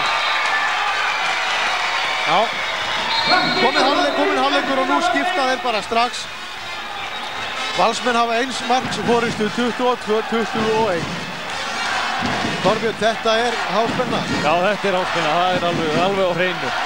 Við, núna okkur að þessa stundina þá, þá höfum við ekki þá höfum við ekki hugmyndum hver, hver vinnur náttúrulega. Nei, þetta er eitt ótrúlegu leikur. Já, það, þetta er nú eiginlega svona, var fyrsta skipti eiginlega sem Valur var eitthvað yfir, já það var aðeins í byrjun reyndar og svo eru framaröndin búin að vera þarna yfir 2-3 mörg og, og voru yfir þarna alveg bara þá til í, já, alveg þá til í restina og núna, núna er byrjað strax ekki eins og var einu sinni þegar við klikkuðum á því og, og byrjuðum fengum leiklið þannig að, að það var einmitt þegar ég og, og Guðmundur vorum eigast inn í valsemmili Valur Víkingur Já. og, og það var allir vildu meina það við höfum unnið á því að því að ég fekk leiklið en ég gæti ekki séð það hvernig ég átti að agnast meira á því en Guðmundur Nei, en uh, hér eru framarar í sók, náður að jafna metin, síðara hálfleikurinn rétt nýhafinn, 22-21 og framarar komin inn á línu og títoff! Ég á ekki til eitt að auka tekið. Já, hérna, títoff búinn að skora 8 mörg úr einum hvað, nýju tilraunum held ég og núna úr 10 tilraunum. Frábær markvarsla hjá Guðmundi. Valsmenn eru staðinir á fætur í á, áhörundapallunum, standa þar og fylgjast spenntir með framgangi framur á þeir skora! Gunnar Berg skorar hér, jafnar metin 22, 22 Gunnar Berg Viktorsson. Já, vel gert hjá honum. Já, já, kom alveg ískaldur hérna inn á Meldi, meldi í hodni sér Guðmundur. Að í minnum tvívegis í úrstöldaleg sem þjálfari. En hér koma valsmenn Ígirab 3 mínútur og 45 sekundur eftir. Július Gunnarsson, Ígirab og þetta er leiktöð eða hvað Já, nei, nei, hægman Þarna fengu þeir góðan tíma valsmenn. Já, hérna. 23, Ég fannst 22 eiginlega vera orðið ruðningur eða eitthvað að skrifa á Júla þarna. Já, hann lendi í vandræðum. Já, Og svona er þetta 23-22, valsmenn einu marki yfir. Ná framarra að jafna, rétt rúma þrjáru mínútur eftir. Koma hér Gunnarberg inn á línu á títopp og auka kast. Já, vel gert hjá Kára Guðmundssoni. Hann er búinn að vera drjúur fyrir valsmenn, það er ekki mikið borið á honum. Já, nei, já. En hann er búinn að vera drjúur. hann hefur staðið fyrir sínu þarna Við höfum ekki gleyma því að... Nei, vítakast, já. Vítakast. Ég held að valsmenn hafi verið þarna fyrir innan einhverju. Já, það er hugsanlegt eða, eða eitthvað tókað í hann eða Jú, Jú, jú, jú. Valgarð, Valgarði þarna fyrir hann Já. Þannig að það er ekki spurning, það er vítið Og ég ætlaði að segja það, við mögum ekki gleyma því Þú tekur Títoff vítið, það því að Já. Sigurpáll Átni klikkaði Og Títoff skorar! Já, það tók hann á höfuðið. 23-23. Títoff skorar og nú ætti að koma því út um mig sem ég var að reyna að segja áðan. Sigfús Sigursson er ekki með eins og allir hafa nú sjálfsagt tekið eftir, það munar nú um það. En valsmenn hafa sínt mikla baráttu og eins og Þorbjörn gætum áðan náða að vinna upp fjögra marka fórskot framara síðara hluta setni hannleiks og jafna metin á ótrúlegan hátt með síðastu, síðasta skotinu í leiknum. Og hér koma þeir Jón Kristjánsson og Ingira og hann er að fara í gegn. Og hvað er þetta? Er vítakast. Stoppa tíman, 2 og 18 eftir. Ingira búinn að vera drjúur sjáum þetta aftur. Hann er ótrúlegur. Kasta sér hann inn í vörðina og það er erfitt að verjast þessu Já, nú, nú er bara spurningin hva, hvort þetta fari eins og áðan að, að hérna að hann verði viti frá Jóni Já. Þór Þór Björnsson þannig að þannig að, að nú er þetta mjög mikilvæg stund núna fyrir Jón þegar hann lappar hérna fram á Já, Þór Björnsson búinn að spilast 260 leiki og hann! Skorar. 24-23. Jón Kristjánsson skorar hér öruglega, kom með 6 mörg. Þetta er gríðarlega spenna, 2 mínútur eftir, 24-23. framarar í sók. Guðmundur og Gunnar Berg. Mikil barátta inn á línunni hjá Tító. Nú eru þau komin tveir inn á línu og Daði, hann fyrir inn í vördina, auka kast, brotið á honum. Þá kemur Guðmundur aftur út og það er stætt upp í leikkerfi. Og þarna hérna og Tító vært að taka skotið bara strax. Það var að hræða valsmenn þarna. Valsmenn klippa út hotni núna. Guðmundur Pálsson, vandræði gangur á fram, hann í gegn og Guðmundur verð. Auka kast, já, þetta er hár rétt. Guðmundur varði þarna mikilvægt skot. Já, Já, hérna. það var líka, það var líka, Guðmundur kom með 19 skot varinn. Og framarar 1 mínút og 20 sekundur eftir og þeir, nei, missa boltan, nei. Hann steinu hann út fyrir og Daði og Guðmundur verð. Og Njörður í gegn og skorar! 1 mínút og 10 sekundur eftir. Njörður Átnarsson skorar. Fjögur skot og fjögur mörg. 24, 24. Þetta er alveg reynd ótrúlegt. Hvað gera valsmið? Það er ein mínúta eftir. Það er allir nánast staðnir á fætur hér í lögatarsvöldinni. Spennan er reynd ótrúleg. 50 sekundur eftir. Valsmið stilla hér í sók. Náðir að skora segumarkið. 24-24 er staðan. Tíminn er í hotninu. 40 sekundur eftir. Þeir verða að fara að gera eitthvað valsmið núna.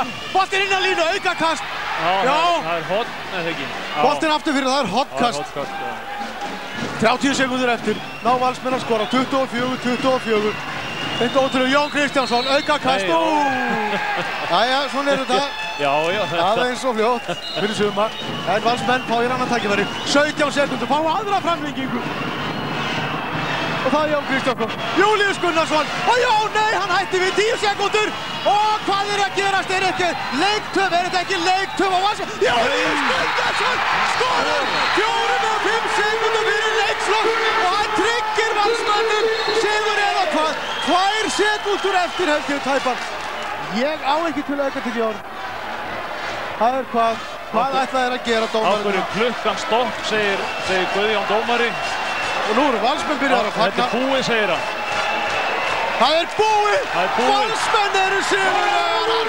Ég á ekki til orð, þetta er með ólíkjundum! 25-24, hvílík dramatík!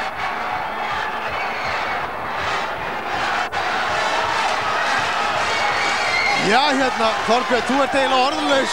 Já, ég, já, ég, þetta, ég var nú bara að segja alveg eins og er að ég, ég reikna alls ekki með þessum úrslitum. Ég, mér fannst bara einhvern veginn að, að framararnir hérna eh, hefðu þennan, hefðu þe þennan vinning sem þyrfti til þess að, að- vinna þennan leik en, en, en einhvern veginn að stöndum uppi núna sem að, sem að þetta er ekki rétt og þannig að Ég hugsa þetta, jafnvel hafi komið völsunum á óvart. Já, og hérna Guðmundur Guðmundsson var nú að stappa stálinu þarna í sína menn og það er ekki hægt annað heldur en að, já, vorkenna framurum. Þetta er, þeir voru með gott forskot í fyrri hálfleik, valsmenn með ótrúlega seglu. Og ég sé að uh, Magnús Orri er komið með Július Gunnarsson í viðtal og við sendum Július boltann. Gunnarsson, hetja valsmanna, hvað flög í gegnum hugan svona rétt árið skotir eða? Það var um að bara gera byrja fram á síðustu sekundu og þá bara að láta vaða. Það spilaði bara skilsamlega síðustu mínúnduna og ákveðin er að missa þetta ekki aftur í hraðblöp. Nei, ég, ég, veit, ég veit alveg hvers, hvernig svari verði á þér en finnst þér þið eiga sigurinn skili eftir allt það sem undan er gengið? Fyrir ekki, ég er ekki hvað segir. Nú er skipta skoðanir á, á, á síðustu mínútu leiksins, valsmenn eru sigurverðar, hvernig, hvernig líður innanbrjóst? Alveg frábælega, það er æðislegt. Hugsaður ekkert til loka mínunar? Það er bara maður að vera kaldur, ískaldur. Hamingju!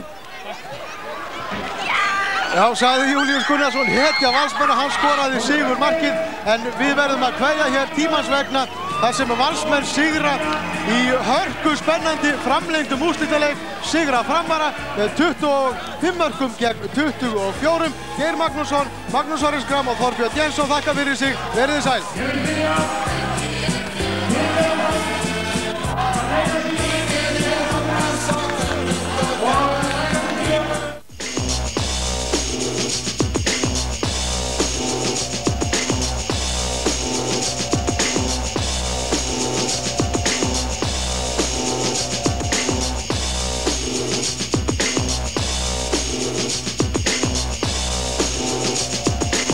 Það var Holtakjúklingur sem bauð þér byggarkeppni HSI og SS.